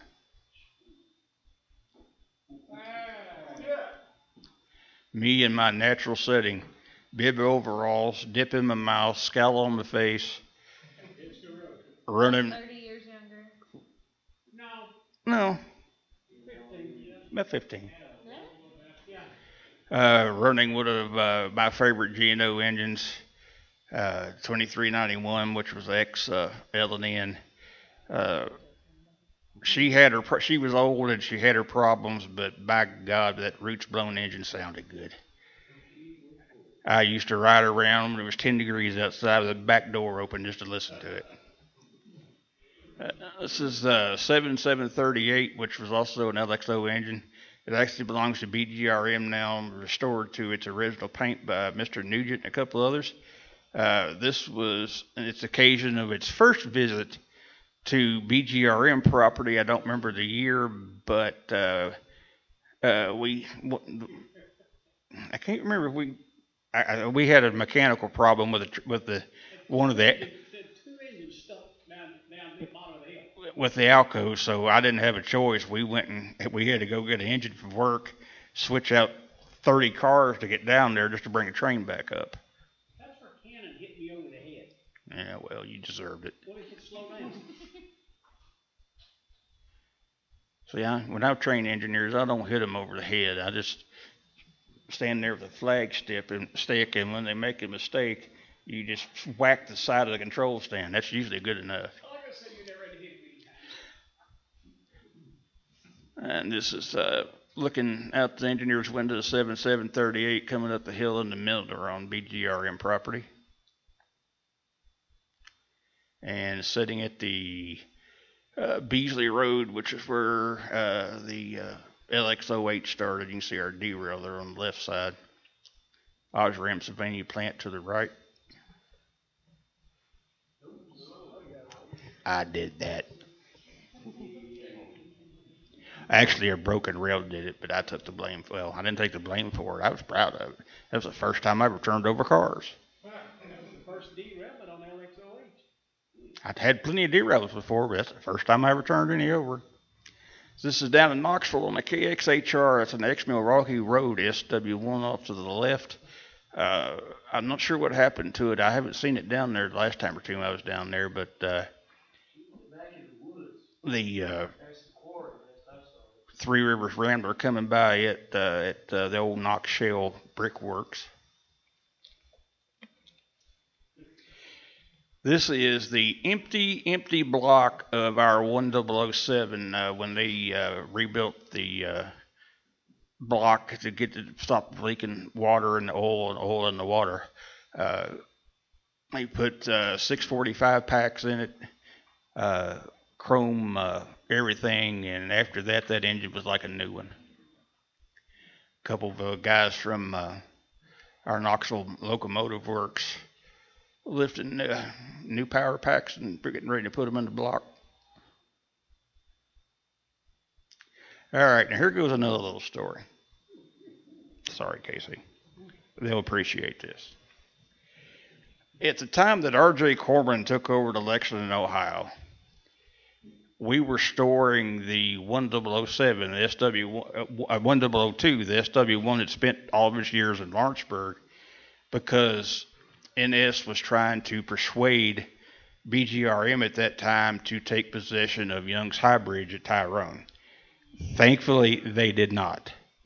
And uh, they used tried to use this engine to sweeten the deal, but it just wasn't worth it. And uh, it was it was still operable, a good engine. The batteries run down on it, but we had emerg- emergency motive power uh, problems a couple of times, and we had to go jump it off and actually use it to switch with. So we did use it a time or two. Uh, after Corman took over the line, uh, about a month or two later, that engine disappeared from Versailles. I got a phone call from a uh, associate of mine that worked down in Atlanta in NS uh, that I, he knew I maybe had track of that engine, and I told him I said the last time I seen it, it was sitting in storage uh, track at Quebecor World in Versailles. And they said, well, we sent somebody and looked the Corman's line over, and we can't find it. And I said, well, I don't know. I said maybe the Cormoran dug it out and took it to Lexington for safekeeping. I don't know. So they went to Lexington without asking Corman and poked around, couldn't find it. So I put out an all points bulletin to all the local rail fans. Have you seen? And about two weeks later, a buddy of mine, Greg, who worked over in Berea, calls me and he said, "Are you still looking for that little switcher?" I said, "Yeah." And he said, "What's, what's the number? Double oh seven. He said, "Wasn't it an NS?" And I said, "Yeah, it, was, it still had NS markings on it." Well, he said, "There's a there's a red and silver Corman engine sitting over here at the uh, aluminum plant in Berea that they're switching cars with, but it's in Corman paint, but it's 1007. It's really?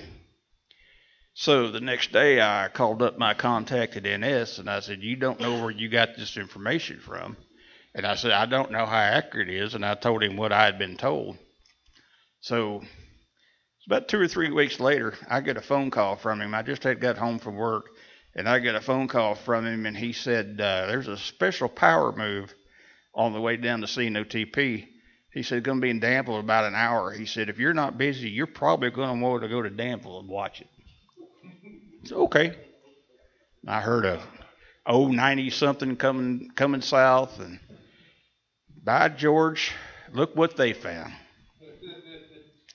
Corman didn't own it. Corman didn't buy it. They didn't even ask to use it. They just took it, painted it, and made it their own.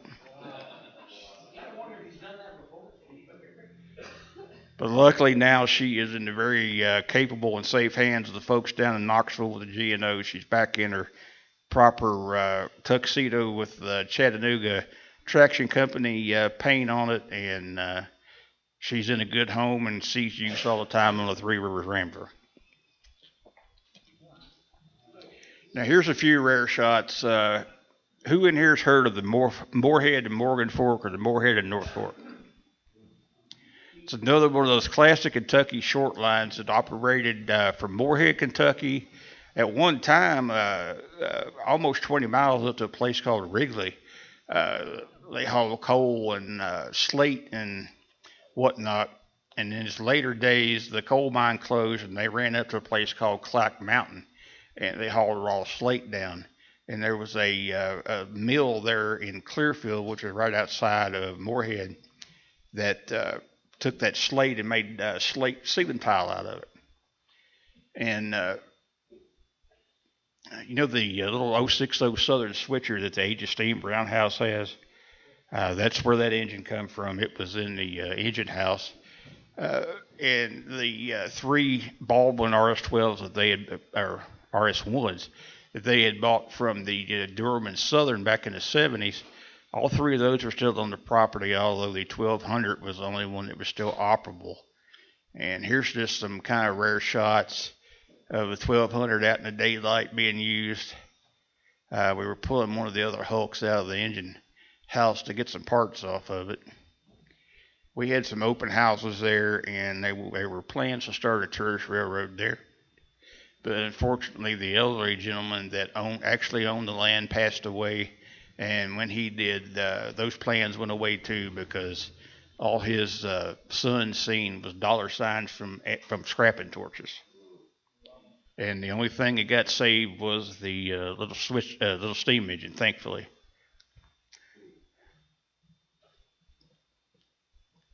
Twelve hundred was ex Durham and Southern, and uh, Good little engine. She had her problems, a few electrical gremlins, like to spit a little oil down then, but it was a fun engine to run.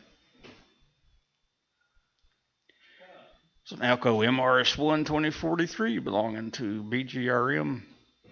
Coming up to the 5.5 trestle not too long after we started running on the uh, five miles of the branch that they own. I did that. That's when we learned that uh, six axles and that switch don't like each other. And I hate to admit it, but we, we got defeated. We tried for two days to get it up and finally had to call Corman.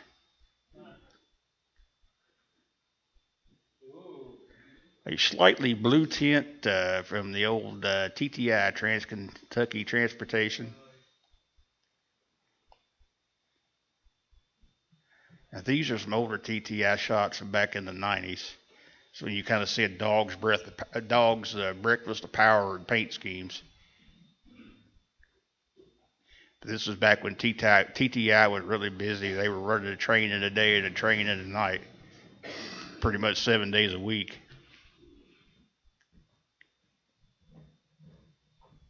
Passing the depot at Flemingsburg Junction. And downtown Maysville on the CNO headed out to the barge transloader. Big Catholic church in the background. Uh, that's somewhere around Ewing, Kentucky. And this is at uh, Lewis, Lewistown, I believe, right outside of Lewistown, Kentucky. And you can see what I mean by uh, dog's breakfast of engines and different paint schemes. I don't think any one engine were painted the same back then. Uh, usually 25 with loads, 30 empties. Now there's a rare bird that is an XCB and Q. Uh, what's the model, Mark? U-28. U28. Uh, that unit was pretty rare, not a lot of those left, and that was the XCB and Q. Uh, it was bought by the uh, Illinois Transportation Museum up in Union, Illinois, where it's in safe hands and still wearing TTI paint for now and running. They that engine has spent its last several years as the uh, Maysville switcher. This is a place called Jacktown, Kentucky, uh, not too far out of Paris. Uh, early one morning, sun just had come up, coming around the S curves there. This is modern. This would have been 2014 and 15.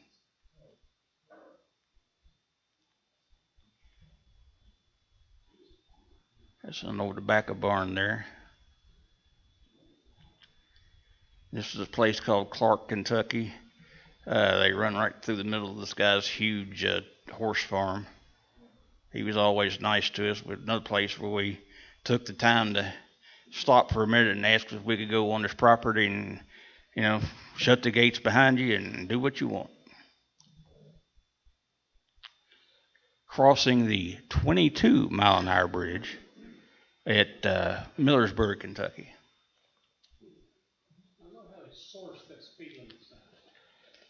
Departing uh, departing uh, Paris just uh, st- at the start of the branch early one morning.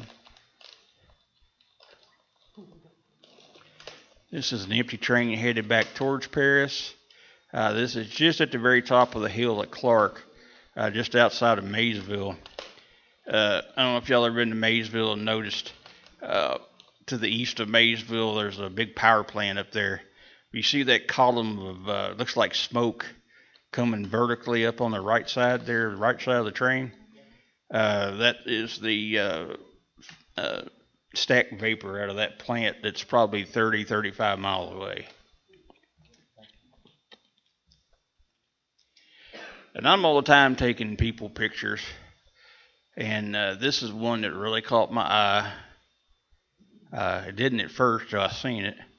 And of course, Larry, this is Larry Schmock and Alex uh, Moss. Neither one of them usually mind having their picture taken. So that's one engine, reflection of one engine in the window and the side of them taking a picture of it. An older TTI paint scheme. Mr. Nugent was standing beside of me, I believe, when I took that one. Been hung out in the guy's tobacco barn. Uh, probably one of my more favorite TTI shots. The horses were so used to the train that they didn't spook, and I knew the train was coming, and I'd walked up there, and was petting on the horse till I heard the train getting close, and backed off to get the shot. And he paid more attention to me and made a nice prop. Uh, coming across a creek coming down toward the hill towards Maysville. Uh, this was back in the 90s uh, when the Kentucky Central Chapter NRHS had their little uh, reader number 11 steam locomotive and they ran some limited excursions on TTI. This is one of those, uh, I'm not sure on the line where that's at, maybe towards Millersburg.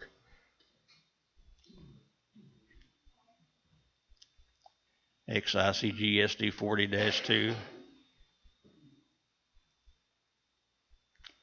It's a uh, Mopac SD 40 2 on a Paducah in Louisville down at uh, Oak Street Yard in Louisville. If you notice, it actually said VMV on it on the side of the cab, which was the rebuilding company. Nice set of uh, slug uh, and calf set there on a LG and E empty coal train one morning coming into uh, uh, I went blank. Where? No, it's it's uh no, this is the other side of Princeton. Yeah, but, but and same train uh, coming into the Armstrong mine down in Armstrong, Kentucky, just past Beaver Dam, getting ready to load and go back to the LG and LG and E plant. Uh, one of the uh, new at that time uh, 70 MACs that uh, P&L had acquired from the uh, CSX with a coal train. That's at Black Log, Kentucky. And once again at Armstrong.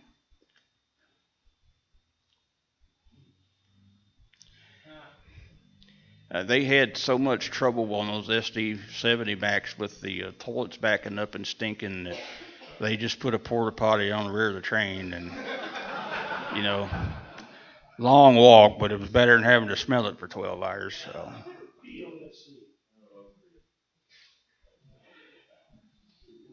Oak Ridge, Tennessee, the secret city. Uh, Alco C420 toting radioactive material across a bridge. I mean, I can't remember the bridge. This is down where Charlie Pol, Charlie Poland, our buddy down there, uh, owns and runs. Wade White and all that bunch. And this is kind of a neat shot. That building in the background is part of the K25 complex. And you all know what the secret city was and the Manhattan Project and how they enriched uranium and that kind of stuff down there. It's a secret. Every all all the old buildings down there except for that one, that's the K25 building, uh, had been destroyed years ago, and uh, we were down there shooting, and Charlie told me he said you might want to try to get a shot of the train with that building because they're going to tear it down. And I was once again I was back down there a couple months later, and it was gone. That's a real piece of history right there if you if you're into that kind of stuff. That the picture doesn't do the building justice how big it is. Nice Alco C420 and GP30 combo. What's that location where they rolled the, c- the other seats were falling? No, that's up the hill some. That was on around the bluffs.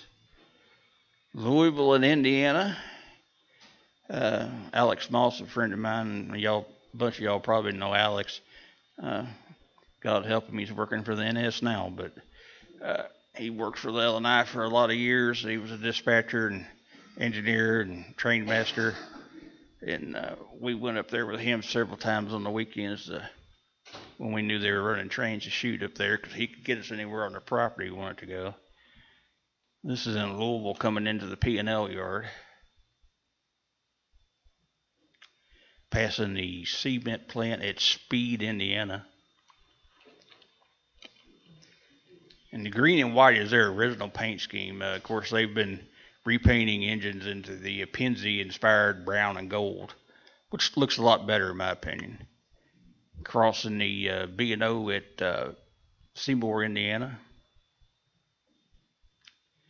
Another train at Seymour, Indiana with one of the better looking units leading. And at speed again. And this was a set of power that was fixing to pull a unit grain train uh, out of uh, Kokomo Grain in Edinburgh, uh, Indiana, which is not too far out of Indianapolis. Crossing the White, that's a CJ turn headed towards Jeffersonville, crossing the White River.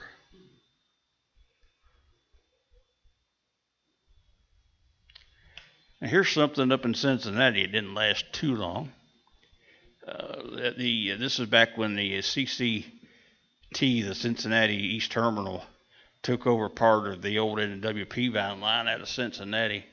Uh, my buddy uh, Chris Edwards was the general manager up there at that time, and uh, he invited uh, Chris Stearns and myself up while we were at Summerville one year. Uh, he said, if y'all want to run over to the yard, he said, we'll fire some engines up and do some night shots. So that's what we did. And I, uh, only Alaska units I've ever shot.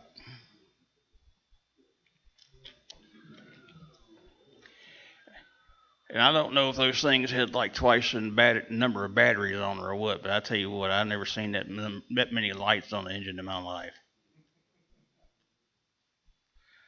And Back to CSX for a minute. Old Delaware and Hudson unit working as the Lexington switcher. Old L&N coaling tower in the background. And to kind of orient you, if you know where Rupp Arena is on Lexington, uh, if that engine wasn't sitting there, you'd be looking right at the backside of Rupp Arena.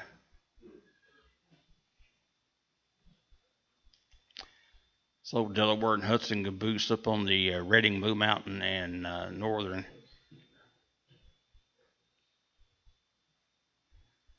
Just kind of a random shot I kind of liked. This is up on the old DT and I, which was of course by now the Grand Trunk Western. Uh, but everything was still marked DT and I. Still had DT and I marked switch locks. That's at Hamler, Ohio.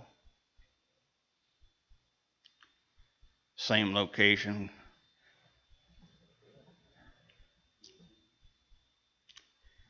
Uh, one of the first I&O trains that they ran over that line once the Grand Trunk uh, sold it to them. We all kind of had hopes that the I&O was going to adopt that paint scheme on the lead one because it's pretty sharp looking.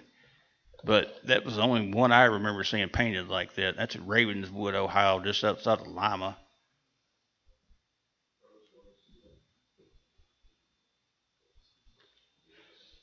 A couple of Wisconsin Central SD45s leading a CSX southbound on the uh, Monon at Dean Lake, Indiana. Same train a little farther down the line.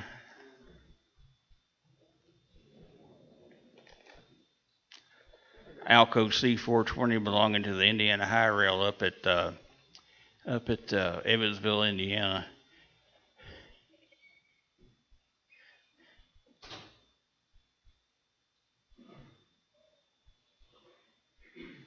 Uh, nice GP30M Santa Fe yellow bonnet at Streator, Illinois, uh, 1990.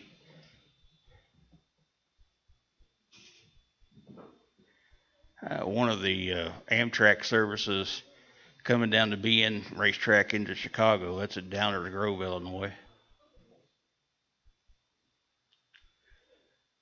One of the Metra Dinkies or commuter trains. Uh, I think that's at the Grange Station, Illinois, just outside Chicago. Brian Sellers uh, just has a heart attack every time I show this picture.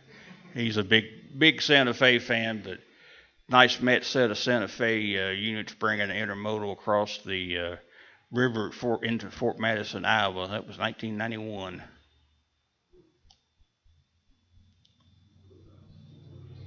Uh, Union Pacific units with a excursion train at Chester, Missouri.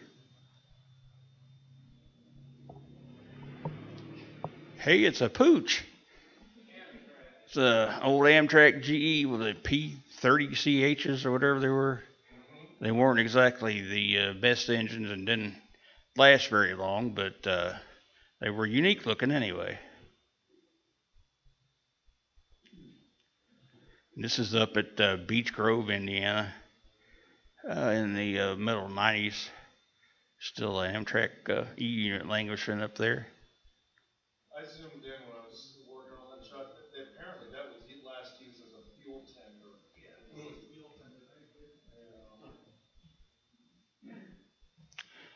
Uh, Alco RS1 uh, sharp paint scheme. It's the Texas State Railroad at Rusk, Texas.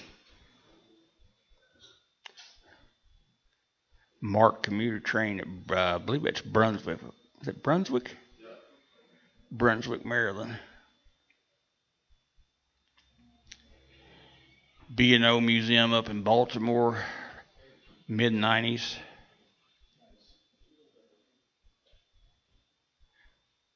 Western Maryland F unit. The uh, original Conrail OCS units for their two E units. Uh, sharp looking train in the daylight. Wasn't much to look at when it was cloudy, but uh, I won't give Landrum too much grief for dragging me all over three states chasing that thing because, of course, with the merger, it didn't last much longer. This is a old Erie Lackawanna GP9 sitting up in storage at Buckeye Yard in Columbus, Ohio in the late 80s.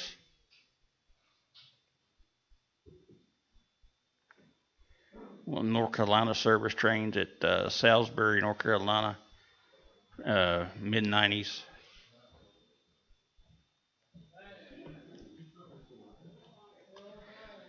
One of the country's newest steam locomotives, the Leviathan, over on the BGRM main line coming up the hill into Milner, doing all she could do with two cars. Here's kind of a rare bird, some kind of a maintenance away car from the Clinchfield. That was at Kingsport, Tennessee. That thing sits at Don Domtar And where? Don Domtar, um, the old Mead paper plant,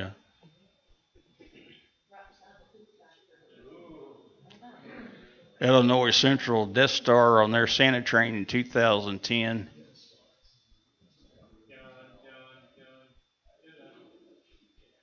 The big city of Melvin, Illinois.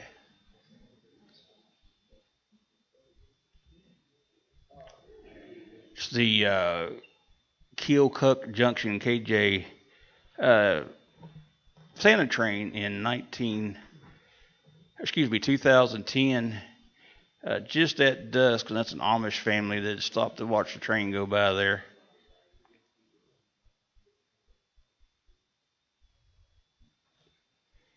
And that's also the KJ uh, Santa train after they were done for the night. Uh, Mr. Smedley, who I was hoping to be here today, uh, I spent three days up there in Illinois with him shooting all the local Santa trains, and uh, he knew the crew at the KJ right well and I wound. This was probably this is Smithfield, Illinois here, and I wound up uh, riding a cab back with uh, one of their engineers all the way 25, 30 miles in the middle of the night on a Xvia FP7. That was kind of neat.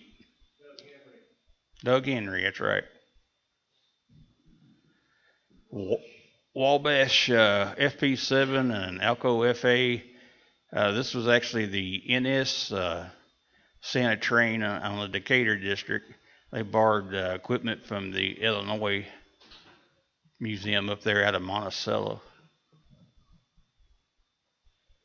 It was early that morning before the forced trips ran. That's sitting at the uh, Decatur shop in the rain.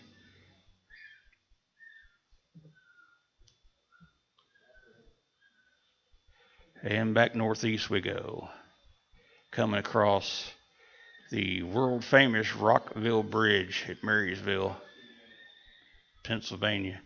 It's where these next three or four are.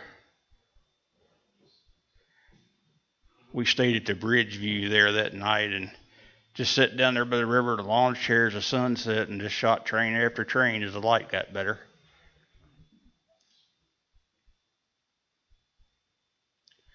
Horseshoe Curve, sometime in the early 1990s, a couple of SD40 pushers. Erie, Erie Heritage Unit at Gallitzin, Pennsylvania, 2011.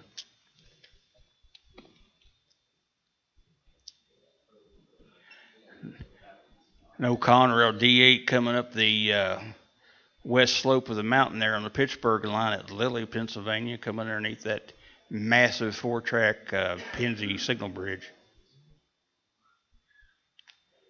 Amtrak right on his heels on the center track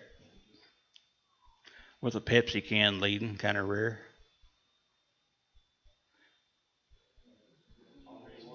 Pair of SD80 MACs that are coming off the uh, one of the branch lines up there around South Fork out of the main line.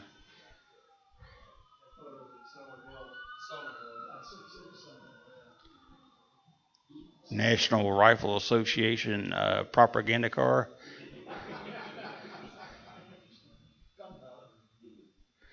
This is the Reading Historical and Technical Society up in Pennsylvania.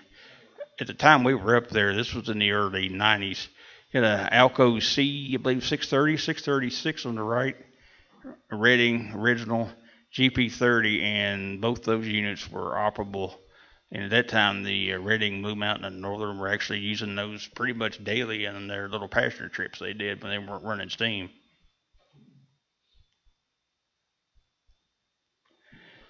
And I never was much into electric uh, electric stuff, but we made it a point to uh, shoot some AEM sevens the last time I was up in Pennsylvania because we knew they were going away.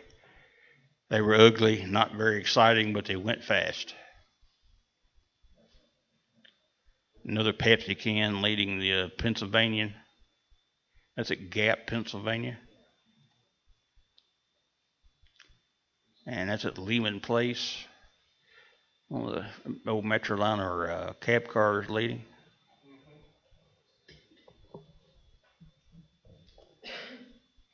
Another AEM seven at Gap.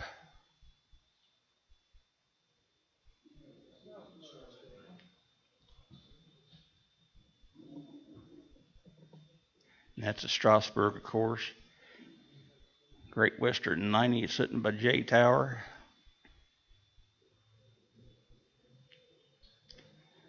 Coming into Cherry Grove.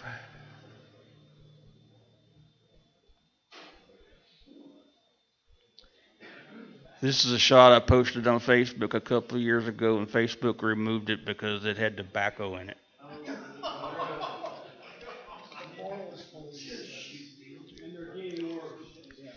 Top of the ridge of Cherry Grove.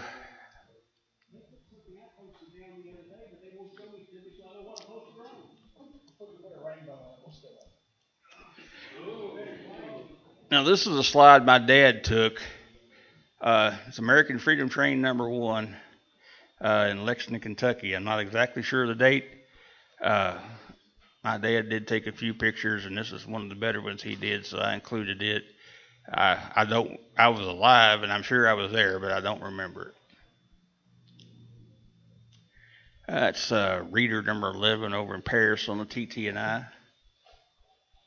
That's the one that's on Everett now, right? Huh? That's the one that's on Everett Railroad now. Now it's in a park in Nicholasville. Oh, it is, okay. Stuffed and mounted. Frisco 1522 on an next excursion at Albers, Illinois.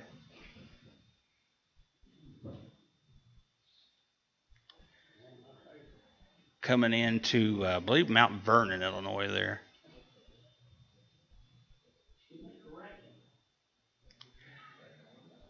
Uh, old Buffalo Creek and Gauley, they called her Old Slobber Face. This is up at Spencer in the uh, late 1980s. They dressed her up to look like a Southern engine and ran her pretty much every day up there.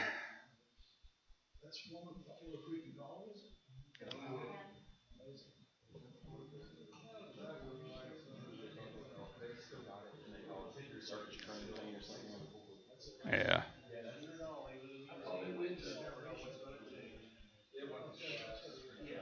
Anybody's been up there for the Heritage event or the Streamliner event, look at that picture and how the roundhouse looks in the background and imagine how it is today and how much work they've done to improve that property.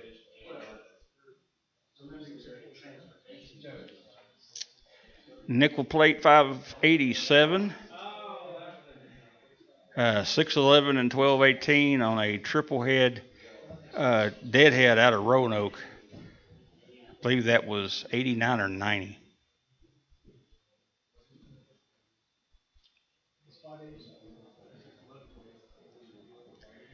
Five eighty seven again up on the uh, Indiana Fair Train in Noblesville, Indiana.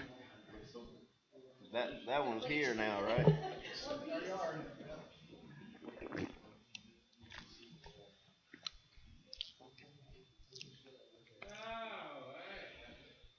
CNO twenty seven sixty five, which is, of course everybody knows was nickel plate seven sixty five dressed up to suit CSX when they were running some excursions. This is on the CNO main line between Russell and Cincinnati coming through Vanceburg, Kentucky one morning. Not the most technical shots. I was trying to get a silhouette there. It didn't come out exactly like I wanted it, but the old B and O across there between Cincinnati and uh, Indianapolis at that time was almost exclusively semaphores. One of my most favorite engines I've run, as far as steam engines, as far as I ran, is the L.N. Winston 52, which also happens to be in Ravenna right now.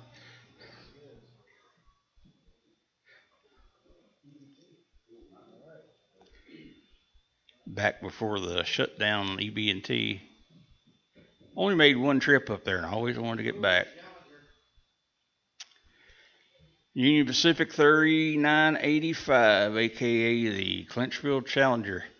This is coming up the hill into uh, Campbellsville on the LCL, headed towards Huntington for the uh, Santa train on the Clinchfield. And backtracking a little bit, that's coming, leaving Louisville, coming through uh, Anchorage, Kentucky. crossing Interstate, uh, crossing Interstate 75 at Walton.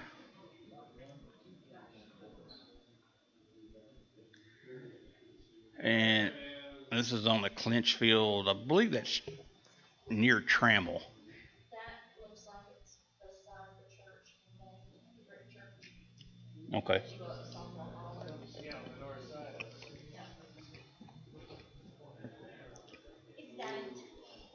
Dante. Dang.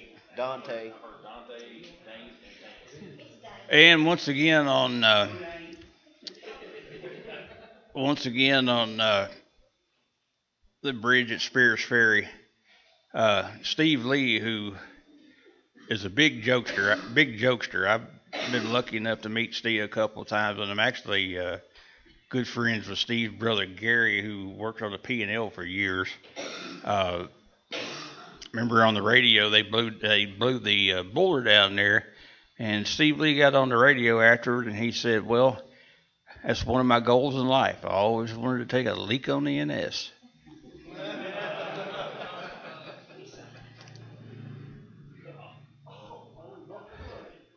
If y'all thought, uh, if y'all thought the uh, Clinchfield 800 had a lot of people,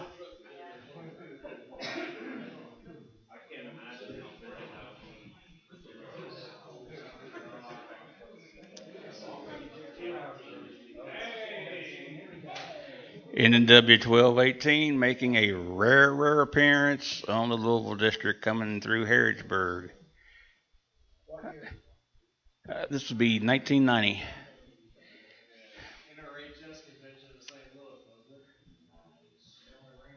Uh, this is coming by the depot at Lawrenceburg, I really like this shot right here. westbound.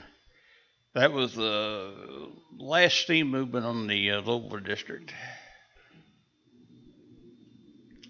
Topping over Waddy Hill.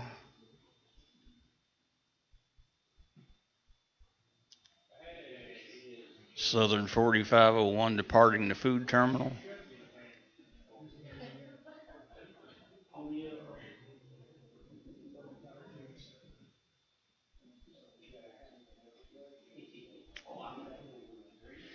Would have been 92 or 93 coming across uh, the Speers Ferry Bridge again. This is the side of the bridge. This was a morning trip across the Clinchfield, and this is the side of the bridge you never see anybody shoot. Of course, it was been uh, shooting it from the usual spot would have been uh, backlit, and I got to looking around for the train got there, and I found that spot, and I actually liked it better, and the sun was perfect, and we were the only ones back there.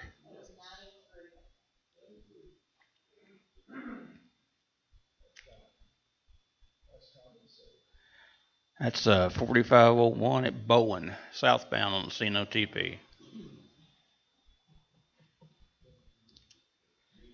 And at Natural Tunnel, Virginia, I believe they call that Little Tunnel.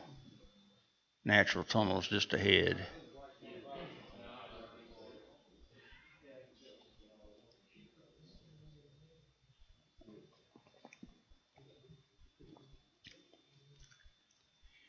And uh, one TVRM fall foliage trips northbound coming across the Emory River at Nemo.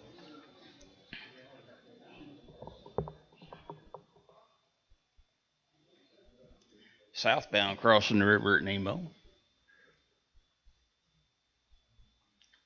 This is at St. Paul, Virginia, I believe, turning on the Y there between the Clinchfield and the uh, N and W.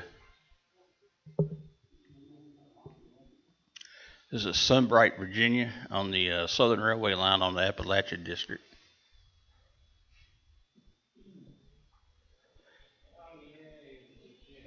Uh, 611 busting up the river there, uh, somewhere in the Narrows, Harrisburg. Pearisburg. Passing the uh, that famous uh, power plant there at Glen Lyn coming down the mountain.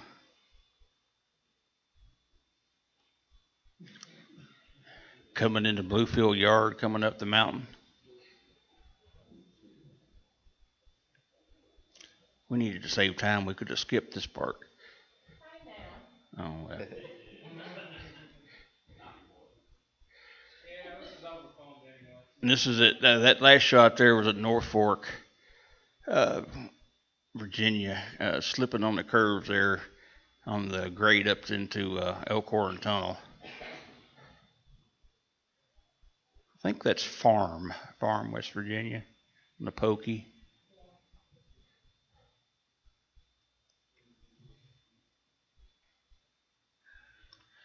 That's on the uh, Dry Fork branch coming into Iaeger uh, West Virginia.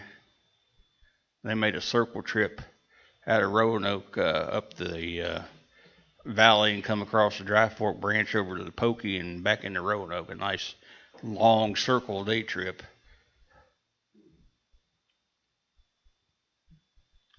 A photo run by Georgetown in 1990.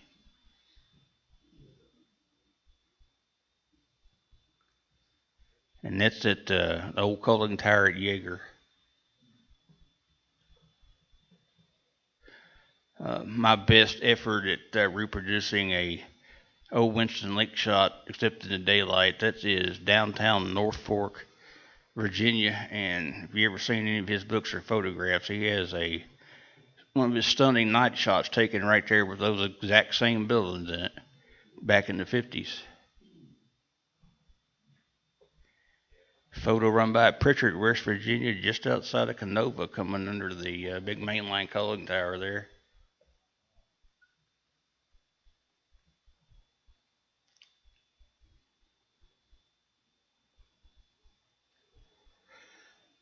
Somewhere on a Clinch Valley. I'm not really sure where that's at.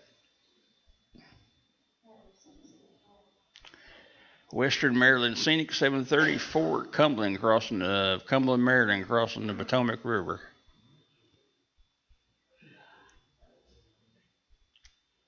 And Helmstetter's Curve.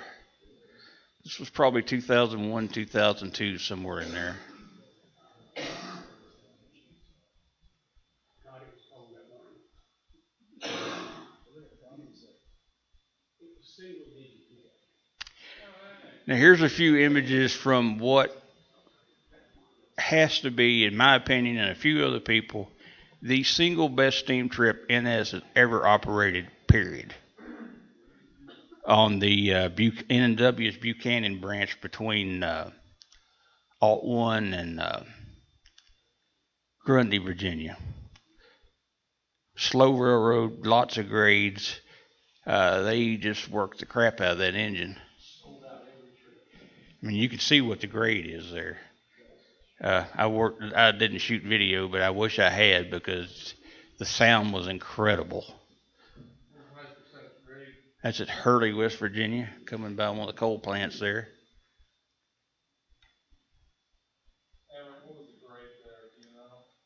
It was over one percent. I got a track chart somewhere. Uh, leaving Weller Yard, uh, coming up into uh, Glencamp, uh, Virginia, or West Virginia. That's uh. No, that's not Alt One. What's the other tunnel top of the mountain? The other side of that tunnel is where I thought you were going to slide down the mountain that day. Emmett almost with, uh, right, right, Rate, rate tunnel. about that, Is leaving Weller Yard, uh, Virginia, coming across the Tug Fork.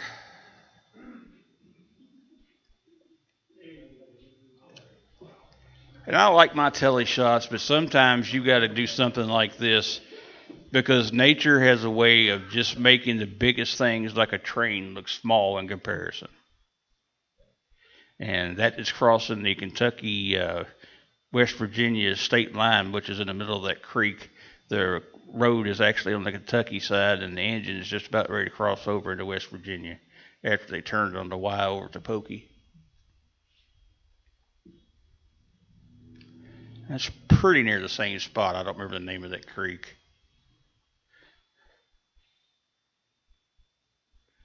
And some of the trips on the CNOTP is the first shot I had uh, gotten of a steam locomotive leading anything in 21 years on the CNOTP.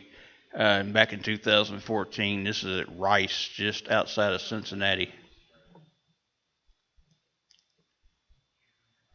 and that's uh, going north uh, down Erlanger Hill, part of Erlanger there in the in the foreground, coming across one of the big bridges there.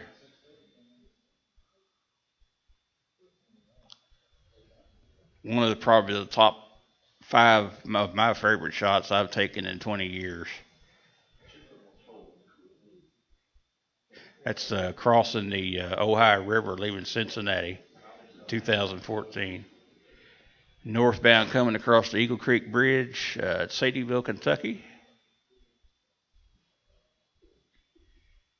Uh, coming underneath the uh, signals at Delaplain, Kentucky, the uh, Toyota yard is right there to my right. We were actually leaned up against the fence there uh, to shoot that. That picture is still so bright. Was that? What's that? Ohio River? Was that a Kenova? Where was it? Cincinnati. Was that- okay. It's down uh, CP Fayette, just on the north side of Lexington. Uh, they were uh, bringing the train over to the NS yard after it uh, spent a week over in the Corman yard, safely tucked away. And this was the Friday before the Lexington trips. They were bringing it over to the NS yard. Northbound coming off the uh, Cumberland River Bridge at Burnside through the uh, slide fence. Southbound to Kings Mountain. Evan, is this the picture you were wanting? All right. Remind me next week and I'll get you a copy. They turned the end, uh, the engine on the uh, little Y down there in the Corbin yard instead of tying up the belt line and everything. And uh, we were, I think, me and TJ were the only ones there that I remember. But it kind of made a neat backdrop with the SD 45s up on the hill. Up until recently, that was probably the last thing taken through that line. Obviously had a different manager on the property that day. North. You had to be there. We didn't want to be there. northbound coming underneath the uh, coming off uh, Kings Mountain and coming underneath the signals at South Fork. And uh, northbound at Silersville, Tennessee. That's Kentucky Tennessee state line.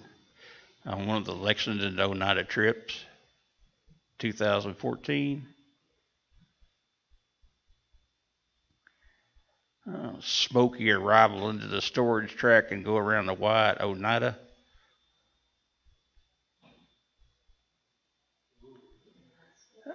Departing or coming out of the tunnel at uh, TVRM one morning. I think that was a Summerville trip we chased.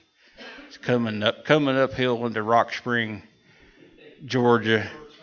Everybody else was. If you've ever been to Rock Spring or you've seen pictures there, it's the place out on the CC short line. It's always got a steam engine going by this decrepit old building, and it's usually got an old black car sitting in front of it the 50 people that were there were getting that shot. I had that shot, so I said, hey, let's go vertical and.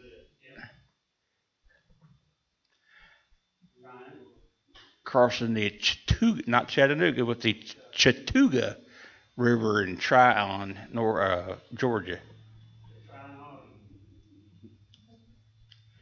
Coming through the uh, Chickamauga battlefield. Rock Spring once again.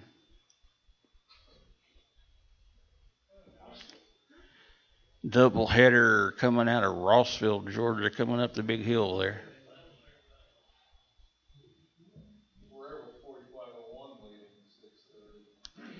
Another one of those AF shots at 6:30, leaving uh, uh, Trion.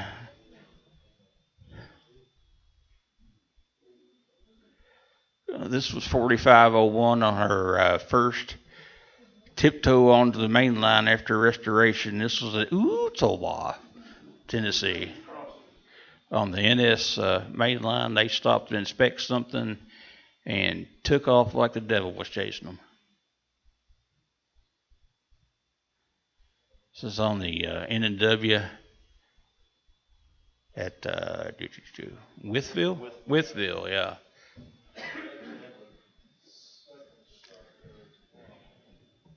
Uh, once again on the uh, N&W in sort of the same position. I think they call that CP White, CP White or something like that. Now they changed the name of it. Washington, thank you. They moved it, they extended it, moved the sign.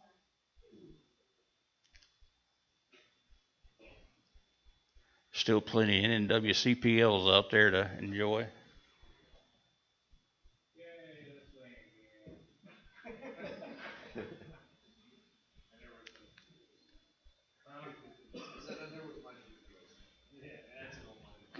Coming by the brickyard uh, at Webster, Virginia.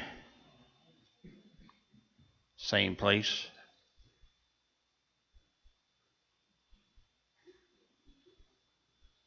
And that's coming up, uh, I believe, I believe it's Elliston, if I remember right. Coming up the steep part of the grade. Downtown Roanoke with the old N&W office building in the background. Forest, Virginia, leaving Lynchburg. A little bit of 765. This is at West Peru, Indiana.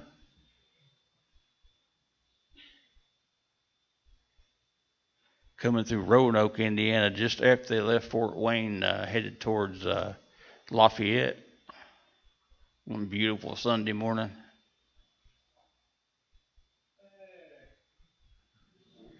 Y'all want to see people pictures? We'll, we'll zip through them. Casey's giving me the EY.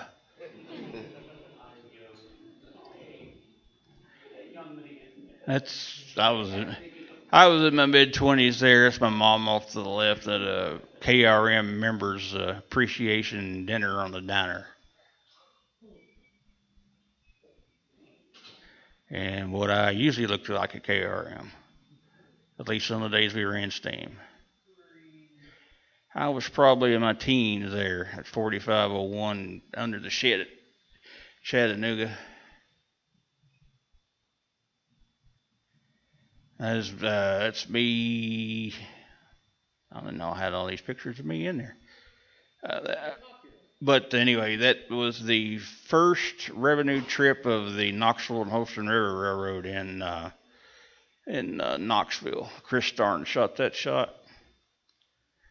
That's in the cab of the uh, 1200 up in Morehead.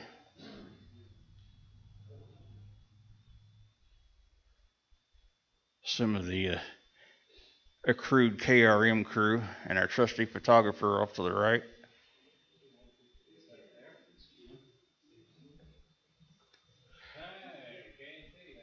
And I could not end this show without uh, saying a few words about a few very good people we lost this year. And Jim Wren was one of them. Uh, Jim was one of those people you liked him and you agreed with him or you didn't. I got along with him real well, and if it hadn't been for him, I, uh, him pushing me, I would have never got out of my comfort zone about uh, doing some writing for Trains Magazine and and uh, submitting photographs. Thanks to him, I had uh, cover shots and uh, just all around good guy. I miss him. That's Jim and uh, Steve Forster on the right, shooting out on the T at Parker's Lake. Jim and Steve and Tunnel Man Butch Atkins on the right taking my picture.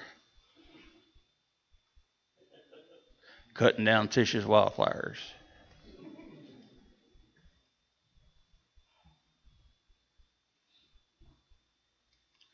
And that's uh, Captain Atkins there, Butch Atkins. A lot of y'all know Butch. He's a works over at the University of Kentucky, but uh, his thing in life is railroad tunnels, whether still being used or abandoned. And every once in a while, I got him out of his comfort zone, like renting a, a pontoon boat on a 13 degree morning in March to go shoot the other side of the Burnside Bridge because the sun was good. So that's how you got there.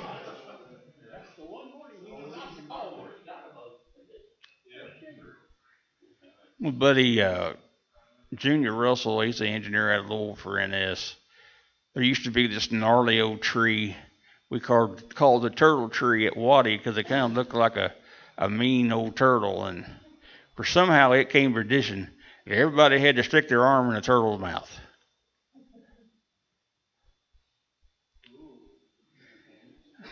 There's Casey and Steve Forrest, and in the middle, our friend Chris Williams, who's also no longer with us.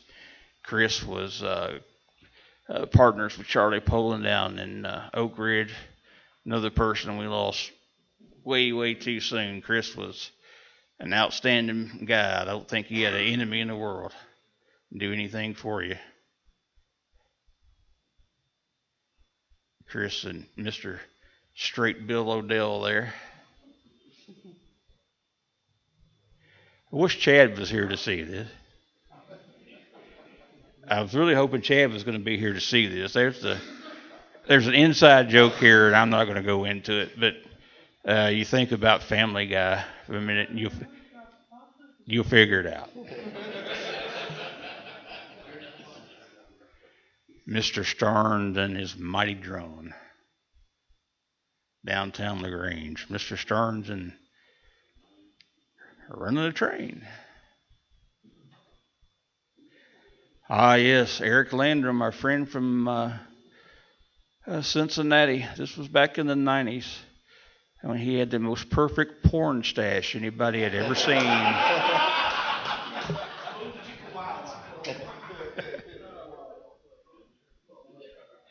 and that's Caleb Herndon, myself, Butch, and Adam Wells, south end of Burnside Tunnel number four, standing right at the lake.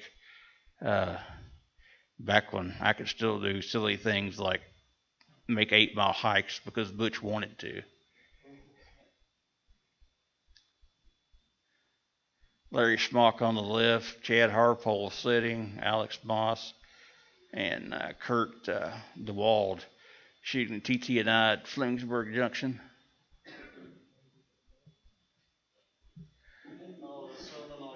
The Sermon on the Mount. Another one of our good friends that we don't see much anymore, and I'm not trying to be blasphemous here, but uh, John Owens up there, he had the perfect Son of God beard. On purpose or not, I don't know. So the morning they, uh, the Sunday morning they ran 6:30 to 09, and we were up on top of Kings Mountain waiting, and I had one of those evil ideas, and I said, I said, John, get on that pile of rock and act like you're doing a miracle. Everybody else, bow your head. and it, it's it's easier to get people to do stupid stuff than you might think.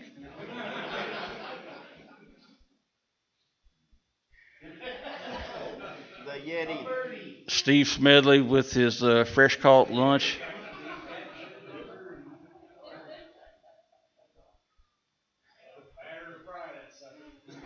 Randy, make sure you. Hey, Randy, make sure Steve knows that was in there. Mr. Duncan enjoying a fine Kentucky L8. This was uh, during the time that we were getting uh, out. I got my $1,500 shot of UP 844. That's a story for a different time. That was a bad day. Another one we lost way too soon. Jonathan Gow off to the left. Jonathan was another of those fellows I don't think he had a lot of enemies. He was a gentle giant. And uh, I'm very proud to have known him and been able to hang out with him as much as we did. Of course, he passed away unexpectedly, much too young. But thank you, Jonathan. Again, I don't. It's somewhere in Tennessee. We were shooting the F units. I don't remember where. That was the G thirty trip, I think. Could have been.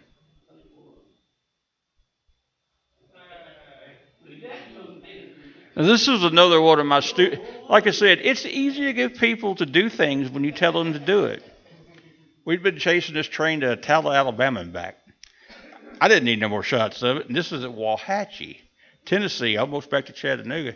So we were standing there, and I said, "Hey guys, when the train gets here, turn around and wave at me." That shot came out all right. It's my buddy Junior Russell riding the left side of a catfish. Our favorite F unit engineer, Mr. Tony King himself. TJ Mann, our uh, personal weather person, and uh, Stephen Allen Jones riding one of the first public NS trips out of Chattanooga.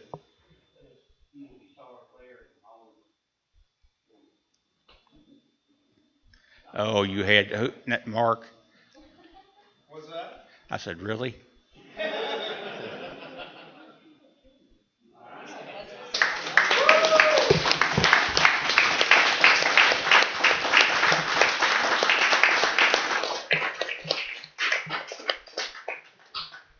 Thank you all. And uh, Joe recorded everything, and give us a few weeks. We're going to get this up on YouTube. It'll be a private URL. So in a couple of three weeks, you contact me or Joe, and if you want to see it again or whatever, uh, it'll be there to see. Thank y'all.